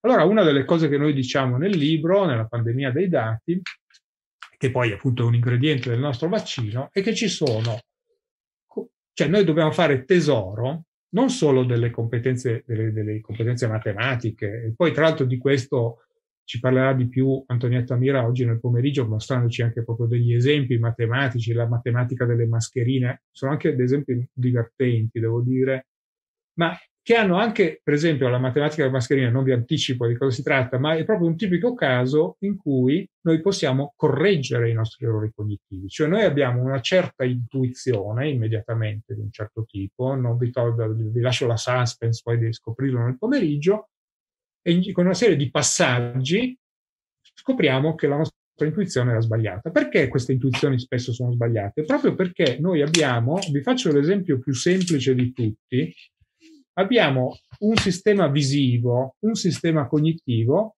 che ci spinge a vedere le cose in un modo diverso da quello che, da quello che sono. Se io disegno due semplici segmenti, questa è una cosa che avrete visto tutti, insomma, per la psicologia della Gestalt, in questo modo qua, e ve li faccio vedere, non so se li vedete, no? È un classicissimo esempio vi sembrano uno più lungo e uno più corto, giusto? No, una cosa banalissima. Invece sono uguali. Però anche se io lo sapete, no? Perché lo sapevate già prima, perché conoscevate già l'esempio che ve lo faceste, eppure lo vedete sempre sbagliato, perché il nostro sistema visivo ci costringe comunque a vedere le cose in modo sbagliato. Per fortuna, invece, eh, noi, il nostro vaccino, fa sì che possiamo fare tesoro di un sacco di argomenti, di ragionamenti, compreso per esempio la, uh, l'uscire dal confirmation bias, perché poi dopo un po' che abbiamo capito che quando cerchiamo di, di scoprire come è fatta una regola, furia di conferme con la verificabilità di, di Popper, insomma, Popper diceva la scienza non funziona verificando, cercando sempre la verifica. Se io dico tutti i cigni sono bianchi, no? E continuo a vedere cigni, e ogni volta che vedo un cigno bianco, vedi che la teoria è vera, vengo la teoria vera, però devo tenere conto del fatto che se scopro un cigno nero, tutta la mia teoria va a farsi benedire, no? Quindi la falsificazione è qualcosa di molto utile, che anzi ha un, un elemento informativo molto più ampio, no? Quando cerchiamo di verificare o meno una, una, una nostra ipotesi. Quindi noi possiamo correggere in molti casi. Ecco, nel pensiero probabilistico noi abbiamo questa grande possibilità. Il pensiero probabilistico ci permette in molti casi di, di correggere una intuizione di fondo che, che, attraverso un ragionamento. E dopo un po' che abbiamo imparato queste cose, eh, cioè, diciamo che restano anche abbastanza fisse, fisse nella nostra mente. Ripeto, quindi dobbiamo tener conto del fatto che abbiamo delle menti che non, sono, non si sono evolute. Ecco, la cosa che io non condivido del discorso che ha fatto ieri Sini, che pure ho apprezzato t- da tanti punti di vista e soprattutto nelle intenzioni di fondo, è che noi siamo così malleabili dal punto di vista genetico, dal punto di vista perché effettivamente dal punto di vista genetico oh, i genetisti ci dicono che è vero che c'è l'epigenetica, ci sono delle modificazioni culturali anche dell'assetto genetico, ma sostanzialmente il nostro cervello non è cambiato molto negli ultimi 10.000 anni. Noi siamo sempre quegli uomini lì, la nostra tendenza naturale non sarebbe, e lo vediamo eh, in mille modi proprio attraverso la rete, non è quella di accettare la democrazia, lo Stato di diritto, eh, il libero mercato, la, la, ma persino la libertà di pensiero, perché no, siamo fortemente intolleranti in molte situazioni, ehm, eh, ma anche appunto l'idea che siamo tutti uguali, no? l'egualitarismo che è nato dalla modernità, sono tutte cose, sono tutte conquiste della civiltà che la nostra natura biologica può mettere fortemente in pericolo. Quindi, cioè, perché proprio, ma proprio non perché eh, in forza della manipolazione, ma in forza di una manipolazione che tiene conto del fatto di come siamo fatti veramente, cioè siamo tendenzialmente tribali. Il successo delle elezioni di Trump è proprio una dimostrazione di questo, perché, e qui arrivo all'esercizio di cui vi dicevo prima, no? che tipi di bugie esistono?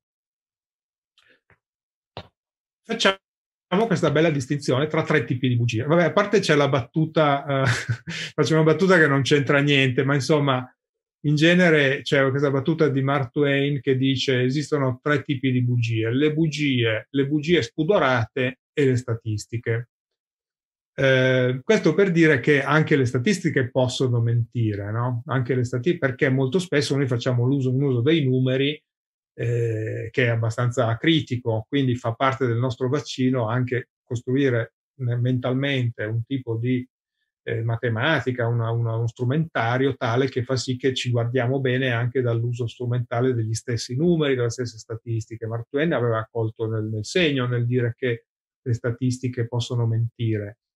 Lo stesso vale per i dati, no? i dati possono mentire, oppure però eh, una battuta che noi usiamo nel libro è, certo, eh, però è molto più facile mentire senza dati che con i dati, perché i dati comunque ti costringono a, un certo, a certe interpretazioni, eh, ti impongono una serie di vincoli, quindi molto meglio avere i dati e poi capire bene mh, se sono stati manipolati oppure no. Comunque i dati sono sempre una cosa importante, importante da avere. Torniamo alle nostre bugie, appunto, perché in parte c'entra eh, questa battuta col ragionamento che sto facendo. Ci sono tre tipi di bugie. Le bugie bianche, ecco, questo è un piccolo esercizio, ecco, un esempio di come, come intendo io, di, perché la filosofia è utile nella vita quotidiana. Ecco che è poi quello che io ho sempre fatto in tutti questi anni, cioè cercare di usare delle cose anche abbastanza sofisticate, questa in realtà è anche già di per sé abbastanza semplice, per trarne degli insegnamenti che siano utili per la vita quotidiana. Che bugie esistono? Sostanzialmente tre tipi, a parte le, le statistiche, no? lasciamole perdere per adesso. Ma anche questi tre c'entrano in realtà con le statistiche. Le bugie bianche, le bugie nere e le bugie blu. Probabilmente le prime due le conoscete già, le, due, le bugie blu sono meno conosciute, sono quelle che hanno a che fare con le fake news. Le bugie bianche sono quelle che noi mh, adottiamo normalmente per cortesia, no? Cioè, quando diciamo, c'è anche un bel film che fa vedere co- come sarebbe un mondo se noi dicessimo sempre la verità, dicessimo, non so, uno ti dice, eh, come sto con, con, i capelli così, eccetera, eccetera, e tu gli dici brutalmente fai, fai, fai, schifo, stai malissimo, eccetera. Magari cercheremo di addolcire un po' la cosa, anche se pensiamo che, non, che una persona che non stia bene. Insomma, sono le bugie gentili, no? Sono quelle che noi diciamo per gentilezza e, e perché, perché buona parte della nostra vita sociale è basata su delle piccole bugie che però ci rendono la vita più piacevole e più, e più, e più carina. Le bugie nere sono quelle peggiori. Allora, le bugie bianche, diciamo, sono di hanno un aspetto altruistico, no? nel senso che sono un modo gentile, non vogliamo dire agli altri delle cose che magari pensiamo, cerchiamo dei modi indiretti per correggere magari quegli stessi difetti che noi vediamo, ma non lo diciamo brutalmente, no? dicendo delle verità scomode. Eh, a proposito di verità scomode, c'è un famoso documentario sull'ambientalismo di Gore, no? il vicepresidente degli Stati Uniti, ex vicepresidente degli Stati Uniti, che si chiama una, An Unconvenient Truth, e mi viene in mente la battuta che le persone, anzi c'è una vignetta carina che gira che dice che c'è un, una insegna dove ci sono un inconvenient food, il cinema e non c'è nessuno che va a vederlo e poi ci sono le bugie consolatorie. Dall'altra parte c'è un'insegna con scritto in inglese il corrispettivo di bugie consolatorie e, e c'è tutta una lunga fila invece di persone che va a vedere quel film lì, delle, quello delle bugie consolatorie. Ecco, la nostra natura è quella, è quella adesso ci può piacere o meno, ma ci piacciono di più le bugie consolatorie che non le inconvenience food. Comunque, questa è una divagazione rispetto alle bugie bianche. Le bugie nere sono le peggiori di tutte perché fanno un danno, sono fatte per nuocere. Eh, le bugie blu sono più interessanti perché sono le bugie spudorate che un Trump o chiunque, qualunque leader, qualunque capopopolo mh, mm, che ha poi quelle caratteristiche che sono sviluppate praticamente in rete, tipo l'odio per, per i gruppi avversari, no, eccetera. Sono delle bugie che vengono credute proprio per la loro assurdità. Cioè, nel senso che Trump dice che, non so, durante la campagna di Obama diceva, uh, scusate, durante la campagna contro la Clinton nel 2016 diceva che era malata di non mi ricordo più quale patologia che, che, la campagna stava facendo una sua controfigura.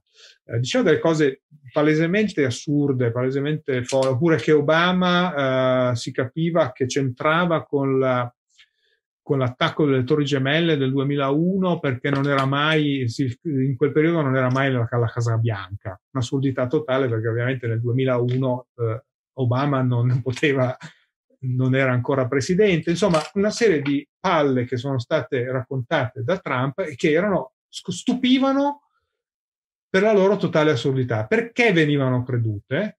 Venivano credute proprio per quegli aspetti che dicevo prima, tribali, e per un aspetto che nella rete è particolarmente eh, significativo e ormai assolutamente osservato dagli studiosi, per cui si creano dei gruppi, delle tribù di credenti no? in una certa cosa che amano vedere sbugiardati quelli di altri gruppi, no? sbugiardati nel modo più... E la credenza in quelle bugie, nelle bugie blu, eh, è tanto più alta quanto più quelle bugie sono assurde, purché siano, diciamo, volte a mh, screditare l'avversario o a consolidare delle credenze di fondo, che quasi sempre, peraltro, sono di tipo così poco piacevole, di odio, di, di, di risentimento, di, quindi che fanno presa su questi, su questi aspetti.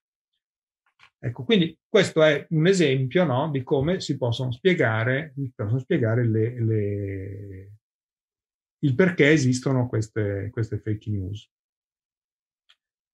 Ecco Armando, quando pensi sì. sia opportuno possiamo fare Siamo un'altra pausa. Sì, facciamo un'altra pausa e appunto io vorrei poi continuare in quest'ultima ora e poi magari nel pomeriggio riprenderò ancora un attimo la parola insieme a Antonietta Mira, eh, che ehm, sì, volevo poi appunto spiegare quali sono, ehm, se riesco insomma in un'ora, spiegare un attimo come le scienze cognitive ehm, ci hanno mostrato, ci sono state una serie di premi Nobel che hanno, eh, psicologi soprattutto, che hanno vinto il premio Nobel per l'economia, che ci fanno capire come questi bias, di alcuni dei quali abbiamo parlato, ma ce ne sono anche molti altri, fanno sì che noi non ragioniamo in termini razionali come vorrebbe l'homo economicus, anche quando appunto facciamo le nostre scelte in rete, e che quella strategia di cui abbiamo parlato all'inizio, di mettere le notizie Covid-19, coronavirus, eccetera, fanno parte di una strategia che è proprio stata pensata dagli economisti in forza, è una cosiddetta strategia NAGI, poi vi spiego di che cosa si tratta, e che fa parte di questo, questi lunghi ragionamenti che hanno una lunga storia e che fanno sì che il pensiero critico di cui stiamo parlando non è una cosa che ci siamo inventati io e Antonietta Mira, ma ha, ha le sue basi dentro una letteratura consolidata di cui adesso poi vi daremo anche qualche elemento se volete approfondire, cioè che riguarda proprio il perché le nostre scelte non sono dettate dalla razionalità come noi vorremmo, ma appunto da una serie di bias per cui poi bisogna stabilire delle strategie, tra cui una è proprio l'esempio da cui siamo partiti oggi, in quest'ultima ora, eh, per spingere le persone a ragionare in maniera corretta, anche magari se, eh, anche in quei casi in cui farebbero fatica a farlo, perché la loro natura le sta portando da un'altra parte. Bene. Allora tra poco, fra dieci Bene, minuti, fra dieci ci, minuti ci ritroviamo allora per questa ultima parte di riflessione di Grazie. Armando Massarenti. Grazie. Salutiamo Grazie. Antonietta Mira che so che fra poco ha un altro impegno. Esatto, questa eh, ultima parte la perdo ma ci rivediamo alle tre e mezza. Grazie per essere stato con noi. Grazie a voi. Rivediamo fra dieci minuti. Riprendiamo con questo sì. ultimo eh, percorso verso un traguardo ambizioso che è proprio quello della maturazione di un pensiero critico come vaccino e do la parola ad Armando Massarenti. Grazie, grazie. Allora, dicevo, riprendiamo un po' il discorso. Eh, io spero di non essere stato troppo... Io amo molto la, l'idea di che ehm, una serie di divagazioni intelligenti possano spingere a magari ad accendere delle lampadine in più rispetto che magari a un, a un discorso troppo costruito, troppo sistematico. È un po' nello spirito degli esercizi della filosofia come esercizio spirituale da cui siamo partiti questa mattina, cioè perché nel senso di Pierre Hadot eh, sosteneva appunto questo, che mh, non è tanto dalla sistematicità che dal, dal, dal, fatto di costruire un sistema filosofico come sarebbe accaduto soprattutto da San Tommaso in avanti, diciamo, no? l'idea di una filosofia costruita come sistema, che peraltro ha un sacco di pregi, anche quella che noi possiamo imparare a essere filosofi anche oggi, mm, un po' come lo facevano gli antichi, ma appunto seguendo l'esempio degli antichi, che sì, avevano tutte queste discipline a cui facevano riferimento, cui hanno apportato delle, eh, de, de, de, dei progressi notevoli, pensiamo agli stoici, persino la filosofia del linguaggio degli stoici era avanzatissima, la logica, eh, la, la, fisica, anche la fisica antica era interessantissima. Tra l'altro c'è uno, uno storico della, della, scienza che vi consiglio di leggere, che si chiama Lucio Russo, che ha mostrato come molte delle acquisizioni moderne della filosofia della, della, scienza, della scienza moderna fossero già presenti in una elaboratissima concezione degli antichi. Però accanto a questo, eh, negli antichi c'era proprio questo atteggiamento di fondo che io cerco di riprodurre, insomma, alla mia maniera, ehm, eh, che è quello di fare dei tanti esercizi che magari apparentemente un po' staccati da loro, in realtà poi le connessioni si trovano sempre, però è bene concentrarsi appunto, questo esercizio che vi, vi, ho appena proposto, provate a concentrarvi appunto su questa idea delle bugie blu, distinguere le bugie bianche, le bugie, le bugie, le bugie nere, le bugie blu, vi renderete conto che di quanto le bugie blu siano preponderanti, diciamo, nel nostro mondo, forse anche nella nostra vita quotidiana. Cioè, quando voi vi, vi avete l'impressione di avere di fronte a voi una persona particolarmente dogmatica, probabilmente quella è una fonte di bugie blu, cioè di cose che ma anche legittimamente crede in quanto assurde, per esempio anche le, le credenze religiose sono di questo tipo, no? Cioè perché le credenze religiose sono così strane e così anche irre, irreali, no? e quindi abbastanza assurde? Perché proprio creano quei legami, quei legami forti di cui la natura umana ha fortissimo bisogno, ha fortissimo bisogno. Noi siamo animali sociali e un nostro modo di esprimere la socialità, per riferirci ancora alla natura umana, insomma, al partire da com'è fatta la nostra natura, per poi capire come questa, la, la consapevolezza di come è fatta questa natura possa esserci mh, poi mh, mh, può, può, crearci dei problemi nel momento che c'è qualcun altro che eh, la conosce molto bene e la manipola, come appunto accade, accade con la rete. Allora, come difendersi da tutto questo? Noi abbiamo pensato prima no, appunto di fare l'esempio di come in Google uno mette, eh, di come saggiamente e assolutamente onestamente i vari social media hanno eh, reagito a questa crisi mondiale.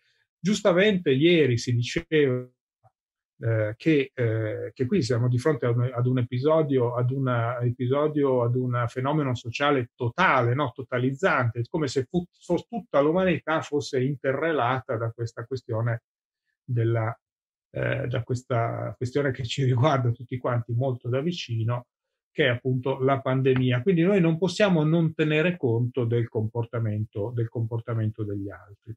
Ora, per quanto riguarda le fake news eh, e, la, e la, la, gestione di questa immensa da, eh, mole di dati fa sì che appunto noi siamo particolarmente eh, vulnerabili dal punto di vista della manipolazione. Fenomeni, come abbiamo detto prima, il confirmation bias è imperante, appunto. Veniamo riconfermati continuamente nelle nostre credenze, nelle nostre appartenenze alle varie tribù si creano queste eco chambers, per cui persone che, cre- che di cui è difficilissimo penetrare, cioè se io vado, non so, in un sito di negazionisti dell'olocausto, di negazionisti eh, anche della, della pandemia del, del coronavirus, eh, anche se ho dei fatti molto importanti, è difficile, difficile penetrare queste eco chamber, sono come Già Popper no? hanno delle caratteristiche simili alle teorie che secondo Popper non sono scientifiche proprio perché sono inconfutabili, cioè qualunque cosa tu dica, questi eh, cortocircuiti,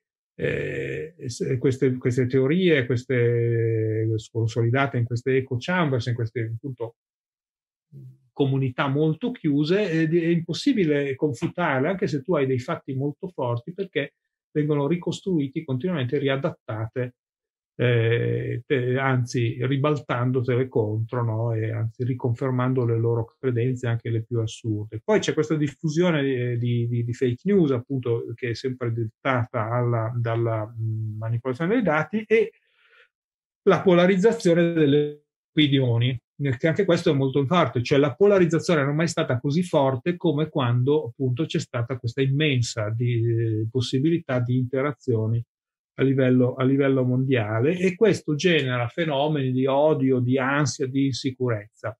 Ora, in termini di manipolazione, uno può dire: ma chi, è, ma chi sono questi manipolatori? No? Io non ho manie complottiste, anzi, fa parte di queste assurdità che girano. Ehm, proprio la, la, mania di vedere complotti ovunque, però è abbastanza chiaro che ci sono stati degli episodi importantissimi, come per esempio lo scandalo di Cambridge Analytica, in cui è chiarissimo che c'era un intento manipolatorio. E, e eh, per venire ancora più recentemente, l'Unione Europea, proprio intorno a marzo-aprile, ha denunciato il fatto che Cina e, mh, e uh, Russia eh, artatamente costruiscono proprio questi meccanismi, spesso costruiscono dei gruppi appositi proprio per gettare scompiglio nelle opinioni, nella, nella, nel, nell'opinione pubblica dei paesi democratici. Cioè, in poche parole, tornando al nostro discorso tribù versus democrazia, tribù versus stato di diritto, verso appunto civiltà, una delle strategie dei nostri nemici, tra virgolette, come sono in questo caso, è proprio quella di minare quei valori di fondo, no? quindi creare delle situazioni tali per cui prevale l'odio, prevale la polarizzazione di opinioni che magari spesso sono anche del tutto insensate, eh, prevale l'ansia, l'insicurezza e co- cosa c'è di meglio che una pandemia per generare appunto, che già di per sé genera un sacco di ansie e di insicurezze perché sono dettate poi dalle tragedie umane che questo comporta. Quindi non stiamo parlando di qualcosa di ipotetico, stiamo parlando di qualcosa di molto reale e della possibilità della cer- di, di, di provare a difendersi da tutto questo. Allora io credo che il vaccino mentale che noi cerchiamo di costruire nel, nel libro La pandemia dei dati è, è, qualcosa di molto utile, di molto utile perché è molto realistico, ha anche un aspetto giocoso perché vedrete anche gli esempi che farà questo pomeriggio eh, Antonietta Mira sono degli esempi abbastanza giocosi. Vi faccio degli altri esempi mh, di come eh, un esempio carino che potreste fare, si possono fare anche delle scommesse e vincerle facilmente. No? Provate a pensare, uh, c'è un famoso paradosso dei compleanni, cerco sempre di fare gli esempi semplici, eh, ma perché oh, poi vanno a mano nel libro, ci sono esempi anche molto più complicati che, che qui sarebbe difficile raccontare. Faccio un esempio semplice di come possiamo modificare una nostra opinione.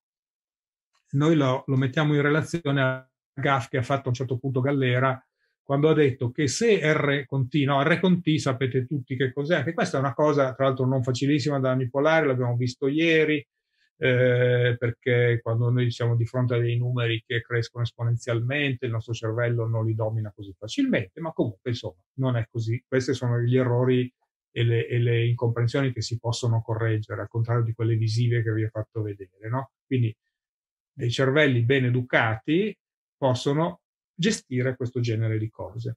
Allora, rispetto alla GAF, per esempio, di Gallera, noi abbiamo proposto questo, mh, è simile no? a quella di Gallera, era semplicemente se RT scende a 0,51, secondo lui, per essere contagiati bisognava incontrare almeno due persone che avessero già il coronavirus. No? È un ragionamento suo, una sua intuizione. È interessante vedere eh, come questa cosa si collega mh, simile come ragionamento eh, ad un'intuizione erronea che noi abbiamo sulla probabilità che in un certo gruppo di persone ci siano due persone che compiono gli anni lo stesso giorno. No? Voi penserete che è una probabilità abbastanza bassa, immagino, no? Cioè l'intuizione di fondo è che sia abbastanza bassa. Invece se voi fate i conti, li mettete un attimo con calma, anzi se guardate la voce Wikipedia è fatta molto bene, spiega benissimo, fa vedere in due minuti che non è così per probabilità che in, già in un gruppo di 23 persone la probabilità è il 51%, che ce ne siano due che compiono gli anni lo stesso giorno. Se poi saliamo a 30 persone, un, diciamo una, una classe eh, media, eh, di, di, media, di media dimensione, arriviamo al 70% di possibilità che ci siano due persone che hanno lo stesso compleanno e via, e via dicendo. Insomma, vedete, sale, questa curva sale in maniera velocissima. Eh, ehm, ecco, questo è un esempio di come in pochi ragionamenti si possono correggere delle nostre, delle nostre intuizioni. E questo però è un modo abbastanza razionale. Ci sono poi, mh, qui io mh, voglio fare riferimento velocemente, io non so adesso se gli studenti, le persone che stanno, mi stanno ascoltando sono più dei matematici, degli economisti, eh, dei sociologi, non ho idea de, de, bene della, dell'audience, ma io cerco di fare un discorso che va bene un po' per tutti, cioè sono degli strumenti utili a tutti. Ora, voi avrete notato, se seguite un pochino, mh, cosa che secondo andrebbe fatta con maggiore attenzione anche per, per tutte le scienze, diciamo, no? perché se noi guardiamo anche la biologia, le cose, i Nobel sono scelti con un certo criterio. I Nobel dell'economia hanno una caratteristica abbastanza interessante, divertente e anche abbastanza strana, che da un po' di tempo a questa parte, diciamo da una ventina d'anni a questa parte, ma ce n'è qualcuno anche precedente, ogni tanto vengono dati dei premi Nobel degli psicologi. No, siccome lo, la, economia. Perché? Perché esiste una branca in, molto consolidata ehm, di psicologi che si applicano per far capire, allora diciamo così, il nostro vaccino mentale può essere costruito più o meno in questi modi. Da un lato far vedere che quella, quanto è importante capire le cose in termini di utilità, no? Quindi la teoria dell'utilità attesa è qualcosa di una grande conquista dal punto di vista della definizione delle nostre preferenze. Eh, è una lunga storia che adesso sarebbe lunga da raccontare, che parte anche lì da un esempio molto divertente, un paradosso che è il paradosso della, del casino di, di San Pietroburgo. Anche lì, tra l'altro, si fa vedere una crescita esponenziale, ci sono delle vincite infinite praticamente in questo paradosso che fanno sì che, che, che, che insomma, il paradosso si risolva con la prima definizione di che cos'è l'utilità, cioè del perché è diverso ragionare in termini monetari piuttosto che in termini di utilità, perché esempio classico, l'utilità marginale decrescente, si dice che un euro di uno che guadagna 100.000 euro all'anno vale di meno di uno che ne guadagna 10.000, no? cioè ha un'utilità minore, nel senso che dipende anche da, da, da quanto, quanto, denaro uno già, già possiede. Ecco, insomma, c'è tutta una grossa storia intellettuale molto bella, molto interessante, che noi descriviamo in maniera anche abbastanza semplice, che, fa, che porta poi, mh, dopo la risoluzione di una serie di paradossi, alla definizione di von, Moin, von Neumann e Morgenstern nel 1945 di, della massimizzazione dell'utilità attesa. In poche parole, di quello che dovrebbe essere il comportamento razionale dell'uomo economico, che sarebbe quello che appunto massimizza sempre le proprie utilità eh, con coerenza, mettendo insieme le varie, pre, le varie preferenze. Ora, Kahneman e Tversky eh, negli anni, poi il vincitore del Nobel sarà solo Kahneman nel 2002 perché nel frattempo era, purtroppo Tversky era morto molto giovane, eh, comunque da psicologi cosa fanno? Prendono tutta una serie di decisioni che eh, i consumatori dovrebbero eh, adottare seguendo il principio della razionalità economica e fanno vedere che nella realtà ci si discosta eh, da questi comportamenti razionali in maniera costante e sistematica, cioè individuano una serie di errori di ragionamento, alcuni errori di ragionamento riguardano proprio il ragionamento probabilistico. Un tipico esempio è la fallacia della congiunzione, cioè se io vi racconto una storiella in cui eh, ci sono diversi elementi, eh, so, è una tizia che fa e poi mh, eh, si racconta della cassiera Pia, cassiera Pia che aveva avuto una storia, è stata una rivoluzionaria, eccetera, eccetera, si chiede la probabilità che, eh, sì, che lavori in banca e nello stesso tempo faccia anche un'altra cosa che ha a che fare con la sua storia precedente. In genere, se la, se la congiunzione che noi proponiamo, questo vale anche per le malattie, i, i medici cadono spesso in questa fallacia qua perché mettono insieme due, due malattie che sembra che debbano essere collegate tra di loro, ma è chiaro che la probabilità di due cose congiunte tra di loro non sarà sempre minore delle prob- della probabilità di ogni singolo elemento della narrazione, che sia cassiera se è separato dall'essere anche eh, una che comunque, che ne so, si impegna nel sociale, eccetera, eccetera, se le due cose le metto insieme, anche se sembrano molto più plausibili dal punto di vista della narrazione, è chiaro che saranno meno probabili nel momento in cui sono insieme. Ecco, questa è un tipico, una tipica fallacia scoperta da, sistematica che commettono tantissimo anche che validi professionisti. In campo medico, per esempio, è uno dei, dei tipici errori. Pensate, questi tipi di fallacia scoperti da Tversky e Kahneman spiegano un buon 30-40% eh, delle tipologie di errore medico, cioè di come i medici spesso ragionano in maniera fallace, commettendo appunto l'errore medico dipende più da, un, da una mancanza di, di, di, accuratezza in questo tipo di ragionamenti che non dalle cure sbagliate o da altri tipi di errori. Ecco, quindi Kahneman e Tversky fanno questo, iniziano questa storia se io, per esempio, per venire in ambito più vicino a noi, al Covid-19, eh, mm, allora, immunity, per esempio, no? la tracciabilità è una delle cose che noi abbiamo visto che è fallita miseramente, purtroppo, perché quello era una cosa che poteva essere molto utile. Mm, però poniamoci questo problema. Noi abbiamo un'app che ci permette di di tracciare come hanno fatto in Corea del Sud. No? Sapete che in Corea del Sud uno dei motivi per cui sono riusciti a gestire così bene la pandemia è che c'è stata una tracciabilità. Ora, tutto questo ha a che fare con una serie di ragionamenti sulla privacy, sulla, anche qui sulla manipolazione, fidarsi, non fidarsi dello Stato, eccetera, eccetera. In Corea del Sud c'era una forte fiducia nella, nella, nelle istituzioni pubbliche quella, e anche questo è stato un elemento che lo ha fatto funzionare. Ma mh, mhmm, questa questione della diffusione o meno, è chiaro che Immunity eh, avrebbe funzionato se molta gente si fosse, eh, avesse scaricato l'app, l'avesse usata, no? eccetera, eccetera. La cosa invece eh, non ha funzionato perché pochissima gente lo ha fatto, anzi si è generato una certa diffidenza in tutto questo.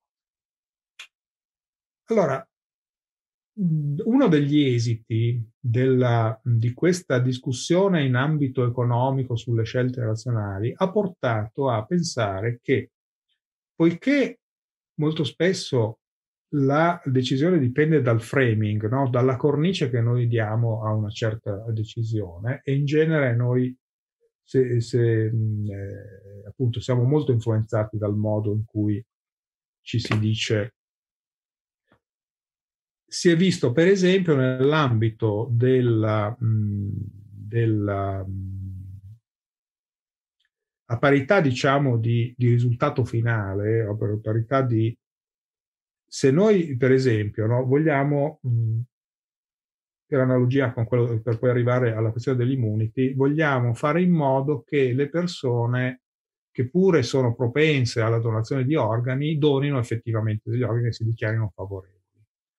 Se noi chiediamo alle persone di aderire ad una campagna di donazione di organi, avremo un risultato molto, molto minore, cioè parità di libertà di fondo, eh, della scelta di fondo. Uno è libero eh, di, di donare e non di donare c'è una maggiore propensione delle persone in genere a donare, però quando si fanno delle campagne non arrivano abbastanza mai persone di quante, quante sono quelle che servono. Se noi, come in alcuni paesi è stato fatto, rovesciamo la situazione, cioè il framing è opposto, noi diciamo tutte le persone che non ci dicono che non vogliono le persone sono libere di non donare i loro, i loro reni, per il long rain nel caso sia necessario, ma per dirci che non, non sono d'accordo, cioè lo devono dichiarare. Cioè, quindi di default c'è eh, l'idea che tutti lo devono fare, eccetera, eccetera. Ecco, con Immunity si è creata una situazione di questo genere, cioè non si è tenuto conto della, di un'acquisizione importante che appunto la teoria delle scelte razionali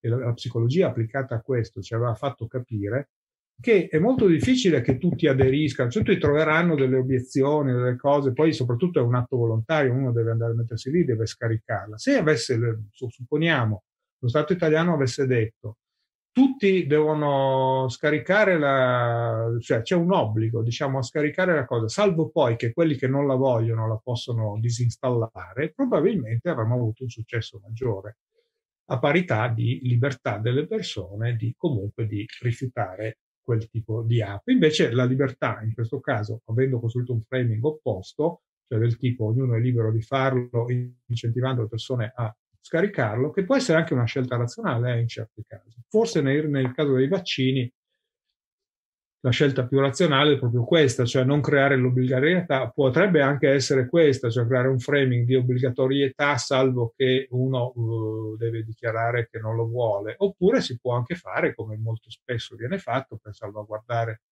la libertà delle persone, si fanno delle buone campagne informative eh, si lasciano libere le persone di vaccinarsi o non vaccinarsi, facendo capire però che eh, se un certo numero di persone non si vaccina, eh, l'immunità di gregge non si raggiunge e che comunque è più razionale vaccinarsi quando è chiaro che i vaccini non, non si prestano a quel tipo di critiche che purtroppo eh, le fake news hanno, hanno, divulgato negli ultimi anni, tra l'altro molto prima del, del, del coronavirus.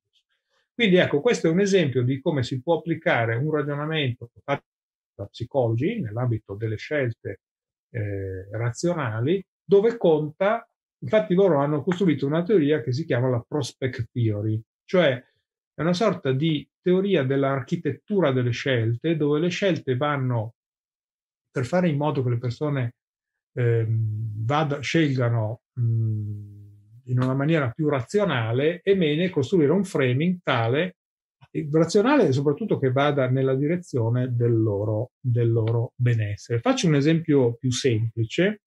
Allora, ta- eh, ecco, questa è la teoria della prospect theory, tiene conto soprattutto del framing, no? cioè del fatto che costruiamo le cose a seconda di come la mettiamo, otteniamo una certa propensione eh, ad una certa decisione o anche una certa propensione al rischio piuttosto che una contraria. Accanto a questa teoria, un altro premio Nobel del, del 2017, ehm, Richard Taylor, ha costruito, insieme ad un giurista, una, una su, Sussein si chiama, non mi ricordo bene come si pronunci, eh, una teoria della cosiddetta spinta gentile. No? Cos'è la spinta gentile? Beh, la spinta gentile è esattamente l'esempio che vi ho fatto, cioè nel momento in cui Google vuole spingere il, il lettore ad andare sulle, su quelle che considera delle informazioni più accurate, cosa fa? Gliele mette all'inizio e dice guarda, tu stai giocando con ecco, guarda, vai qui, non andare tu a cercare le robe che ti soddisfano di più, che basate sui tuoi pregiudizi, sui tuoi bias, su quelle cose che pensavi prima, cosa che ti ha raccontato tua nonna, eccetera, eccetera. No, vai subito sulla cosa autorevole.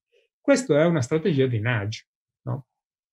Ora, la cosa interessante su cui riflettiamo io e Antonietta Mira nel libro è fino a che punto il nudge ci crea il vaccino giusto per eh, andare nella direzione di, di, non essere più troppo vulnerabili rispetto alle fake news, eccetera. E la nostra idea è che il nudge è un'ottima cosa, può servire in tante situazioni. Vi faccio degli altri esempi di vita quotidiana divertenti di nudge, perché si fanno, hanno a che fare per esempio con un altro premio Nobel, che l'ha vinto però per la teoria dei giochi. Ecco, un'altra parte eh, riguarda proprio la teoria dei giochi. La teoria dei giochi, sapete, è stata fondata tra l'altro proprio dagli stessi von Neumann e Mogensen, proprio nello stesso libro in cui definiscono la, la, la, le decisioni razionali basate sull'utilità.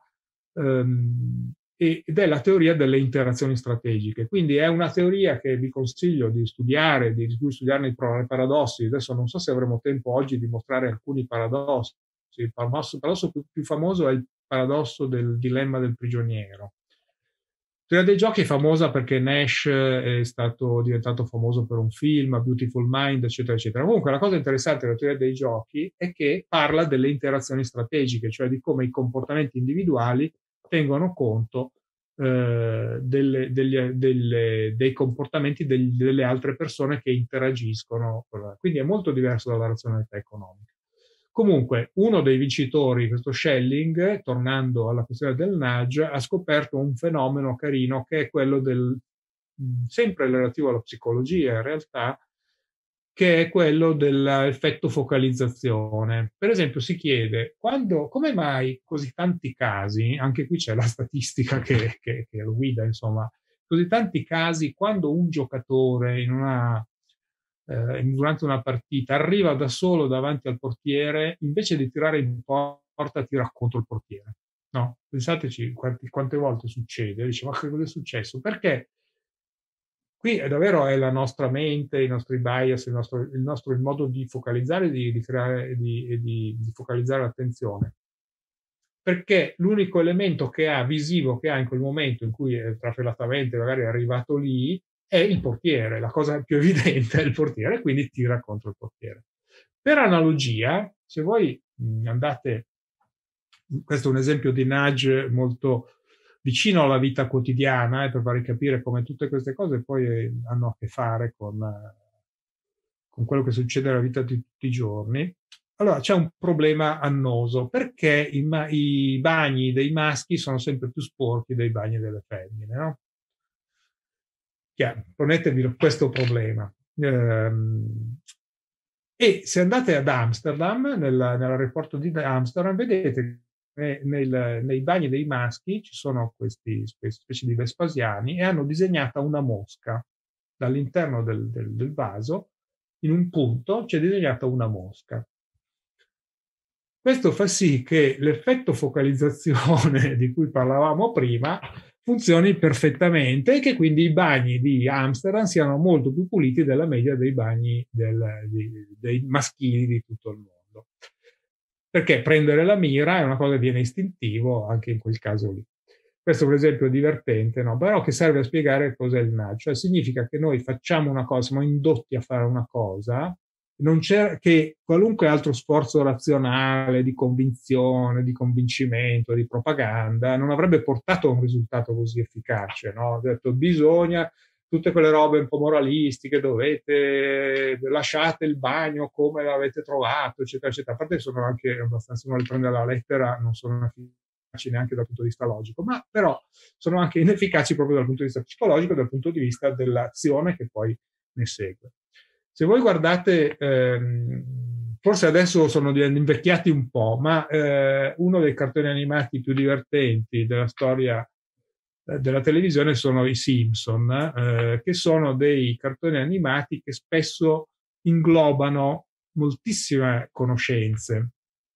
E i nudge sono espressi anche lì, perché per esempio quando Homer Simpson va dal suo, va dal, da questo indiano no, che ha questo negozio un po, strano, un po' strano, così, eccetera, eccetera. Le ciambelle, ah, tanto amate da Homer, sono lontane dal banco no? e sul banco si ritrova delle verdure, delle cose che lui trova orrende perché chiaramente dal punto di vista dei suoi gusti eh, è molto meglio qualcosa di insano, di, di orribile mangiato in sopravvivenza. E però c'è questa idea del nudge che il consumatore per Homer non funziona tanto, però in generale, e questo vale anche in molte situazioni vere, insomma, che troviamo una cosa, se noi mettiamo le cose più sane a portata di mano e teniamo lontane quelle dannose, questo effettivamente influisce molto sui comportamenti delle persone. Però vedete che come noi possiamo essere manipolati, prima lo dicevamo in negativo, ma possiamo essere anche manipolati in positivo,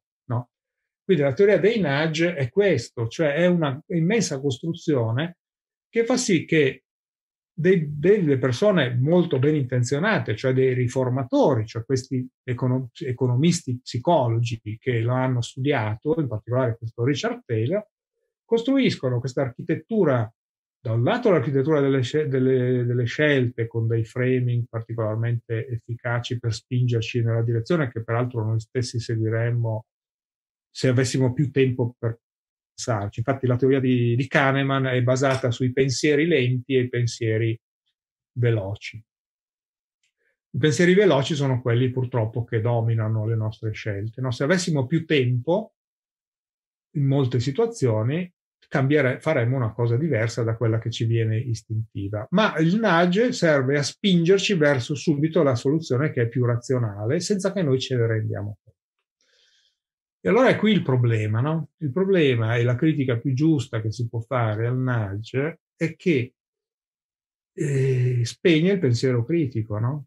Cioè noi non arriviamo alla scelta più giusta grazie a un ragionamento che noi facciamo, ma, eh, ma eh, che quindi con eh, quello che noi cerchiamo, cioè che noi vorremmo invece che si formasse maggiormente nei cittadini, ma attraverso un automatismo è come se qualcuno da sopra di noi, sopra le nostre teste, per il nostro bene, no? quindi c'è una forma di paternalismo. Loro lo chiamano paternalismo soft, è vero che è soft, no? perché teoricamente io comunque posso scegliere, non è che mi si, vengo costretto a fare una cosa, però vengo spinto verso quella cosa, ma questo è bene, no? è bene che io venga spinto verso la soluzione più razionale e più giusta, che io venga spinto verso le notizie vere piuttosto che verso le notizie false. Questo è giustissimo. Ma quello che il prezzo che noi paghiamo è che invece appunto il pensiero critico viene eh, in, qualche modo, in qualche modo spento. Ehm, tra l'altro vi voglio fare un esempio carino che viene anche questo dalla teoria dei giochi su come funziona il pensiero, il pensiero lento, il pensiero veloce, che li chiama il sistema 1 e il sistema, il sistema 2, anzi il contrario, prima viene il pensiero veloce e poi il pensiero lento.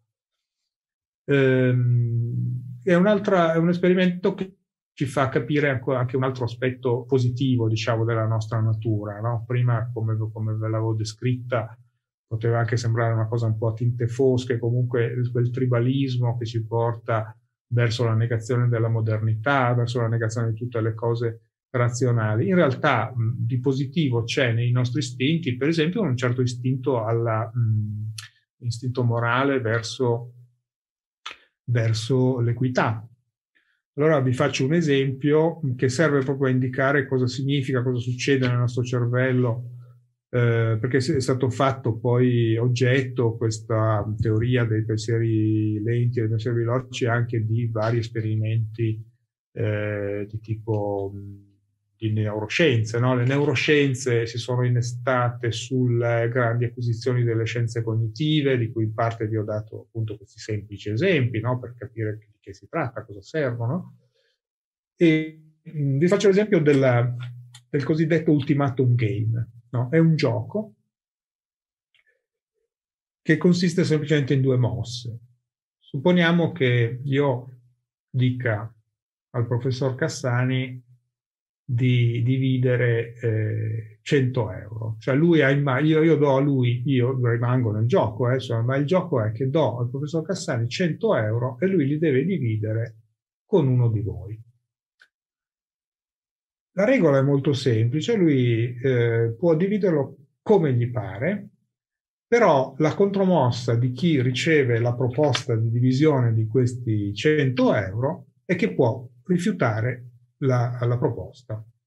A quel punto, se rifiuta, cioè se accetta, la divisione avviene. Se invece eh, la, la, divisione viene rifiutata, i 100 euro tornano a me.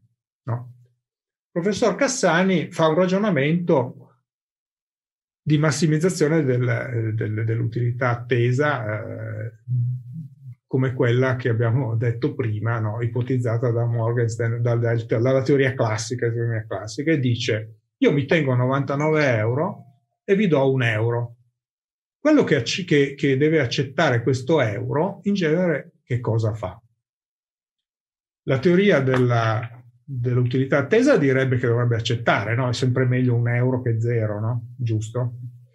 Però si è visto che nel comportamento delle persone eh, un certo grado di iniquità di questa divisione provoca una sorta di istinto morale e di senso di ingiustizia e fa rifiutare la, la divisione mandando a monte e mandando proprio in vacca tutta la, tutta la divisione. Cioè se tu, diciamo il 30%, se Cassani mi proponesse io mi tengo a 70, cosa lui non farà mai ovviamente, eh, sapete bene che lui dirà diciamo il 50% per carità, ma supponiamo che forzasse un po' la mano diciamo che fino al 70-75% gli va bene, se poi invece non gli va per niente bene perché eh, dall'altra parte c'è un rifiuto e, e, e, quindi non si becca eh, assolutamente nulla eh, i 100 euro tornano a me. Però questa è una cosa molto significativa perché si è visto che eh, intanto è positivo no? che mh, per quanto sia irrazionale, però è una forma di irrazionalità che ci piace abbastanza, no? che spiega anche perché eh, quando noi dobbiamo fare delle scelte che non hanno il carattere della razionalità economica, ma sono scelte che riguardano il bene comune, in genere siamo contenti. Una volta il povero Padua Schioppa, allora ministro, aveva detto che pagare le tasse eh, eh, ci rende felici. Eh, si, si basava, ed è stato martoriato per questo, perché sappiamo che in Italia questo è un tema scottante, però in parte c'era una certa verità, perché si è visto in certi studi neuroscientifici che nel momento in cui si compie un atto eh, di tipo ehm, equo o di tipo che va verso il bene comune, nel nostro cervello si attivano delle, tipicamente dei meccanismi di, che indicano una felicità. Bene, eh, Armando, forse, esatto. sì. forse è il, il, momento di... Eh, di arriviamo alla conclusione. Alla conclusione sì. e, e, forse il, il, il collega eh, coorganizzatore, il professor Fabio Minazzi, eh, può fare un, pensiero dar, offrire uno spunto di riflessione conclusivo sì, a questa sì. mattinata? Volentieri, chiudo soltanto con questo ragionamento perché la, si è visto quanto funziona questo meccanismo, un po' paradossalmente, questo meccanismo dei pensieri veloci e dei pensieri lenti, perché si è visto cosa succede nel cervello quando si, eh, ci sono quei, quando, in quei pochi casi in cui si accettano delle divisioni inique. No? Ci sono dei casi in cui uno dice va bene, d'accordo, mi dai solo 2 euro, ma io accetto lo stesso. E questo, si, però si vede proprio che ci sono le due fasi, cioè c'è prima una fase intuitiva, contraria alla, alla, nel cervello, alla, che, che, attiva la parte emotiva del cervello, le nostre, le nostre decisioni lente, e questo deve illuminarvi anche rispetto al tuo ragionamento che abbiamo fatto prima sugli istinti più tribali, no? eccetera, eccetera, fanno parte della parte più emotiva del nostro cervello poi scatta la parte frontale, prefrontale sulla parte razionale e dice va bene, allora accetto i 2 euro perché scatta in questo caso una razionalità che è quella di tipo economico che fa sì che si scelga la cosa. Quindi è un po' paradossale come esempio, ma illustra molto bene che effettivamente questo meccanismo è proprio operativo nel nostro cervello. Noi molto spesso facciamo una scelta impulsiva che sarebbe molto diversa se poi invece mettessimo in moto il meccanismo del pensiero, una certa serie di ragionamenti che naturalmente devono essere guidati da tante riflessioni che poi sono quelle che io e Antonietta Mira facciamo nel libro cercando di mostrare un po' tutti gli strumenti che servono a questo. Allora io Grazie. molto volentieri eh, ringrazio. Grazie molte per queste numerose, ricche riflessioni eh, che hai offerto in questo programma di questa mattina e vorrei chiedere alla, al coorganizzatore di questo evento, eh, l'amico filosofo Fabio Minazzi, un pensiero conclusivo.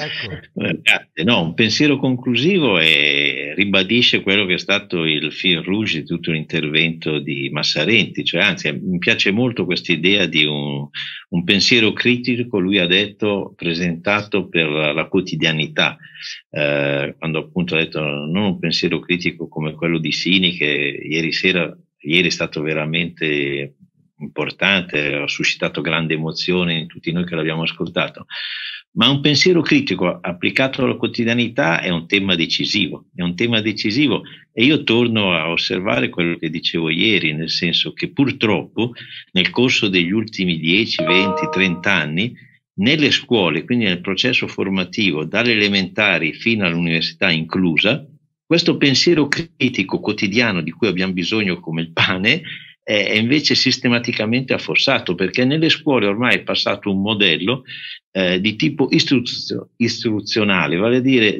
non c'è un'attenzione sul far riflettere sul pensiero, sul pensiero scientifico, sul pensiero filosofico, il pensiero biologico, il pensiero letterario, ma perché è anche molto più semplice per l'insegnante eh, ehm, che viene meno in questo luogo al suo ruolo di educatore, presentare una serie di istruzioni che diventano poi un percorso obbligato. Se voi andate a prendere i libri di testo fatti su, sulla base di quelli, lo dirò alla dimostenica, esecrandi e sputachievoli moduli, voi vedete che lì c'è l'uccisione del pensiero critico, anzi c'è l'addestramento come un pollaio per poter fare una serie di operazioni, ma la matematica, qui parliamo di matematica, come viene insegnata la matematica, eh, si mostra un'equazione, si dà uh, la, uh, la formula, l'algoritmo di risoluzione e poi lo studente viene addestrato a risolvere questi problemi. E questo continua fino all'università. Ricordo, quindi, un ricordo che mi riporta a fine degli anni 70, quando ho dato gli esami di analisi 1 e analisi 2, ho dovuto chiudermi in casa per una serie notevole di mesi e fare esercizi su esercizi, perché questo mi veniva richiesto. Questo modo di insegnare pialla completamente il pensiero. Il pensiero non esiste più. E allora questo esercizio di tornare a, a, alla pratica quotidiana di un, di un, pensiero critico mi sembra decisiva, eh, non solo per il singolo individuo, ma anche per il nostro paese. Perché questo lo dice la storia, i paesi che hanno maggiore pensiero critico sono anche i paesi più ricchi dal punto di vista della vita, oltre che dell'economia. Quindi io su questo ringrazio veramente Massarenti e leggerò con molto interesse il suo libro proprio perché mi sento schierato nella stessa battaglia anche per la scuola da cui vengo, quella di Gemona e la scuola di Milano. Insomma. Grazie. Grazie, grazie. Fabio, grazie. grazie. Eh, riguardo a quello che hai appena detto, ieri Berestichi nel suo intervento si è riferito a giganti del passato come matematici educati. No? Questa è proprio una, una, parola incredibilmente azzeccata che sintetizza proprio il, questo pensiero. Grazie Armando, do l'appuntamento a tutti oggi pomeriggio alle 15.30 per la seconda parte della giornata di oggi, conclusiva di questo evento, dove Antonietta Mira, in, dopo un focus più filosofico con qualche eh, detour eh, matematico e ho apprezzato molto questo eh, sforzo eh, di Armando, eh, si concentrerà più su un focus eh, probabilistico, statistico, eh, diciamo ecco più matematico. Grazie e a oggi pomeriggio. Eh, non ti salutiamo perché ci sarai anche tu per un saluto, sì, sì, vero Io ci sarò e qualcosa dirò anche oggi pomeriggio. Benissimo. Grazie a tutti. Grazie a presto, a oggi pomeriggio. Grazie.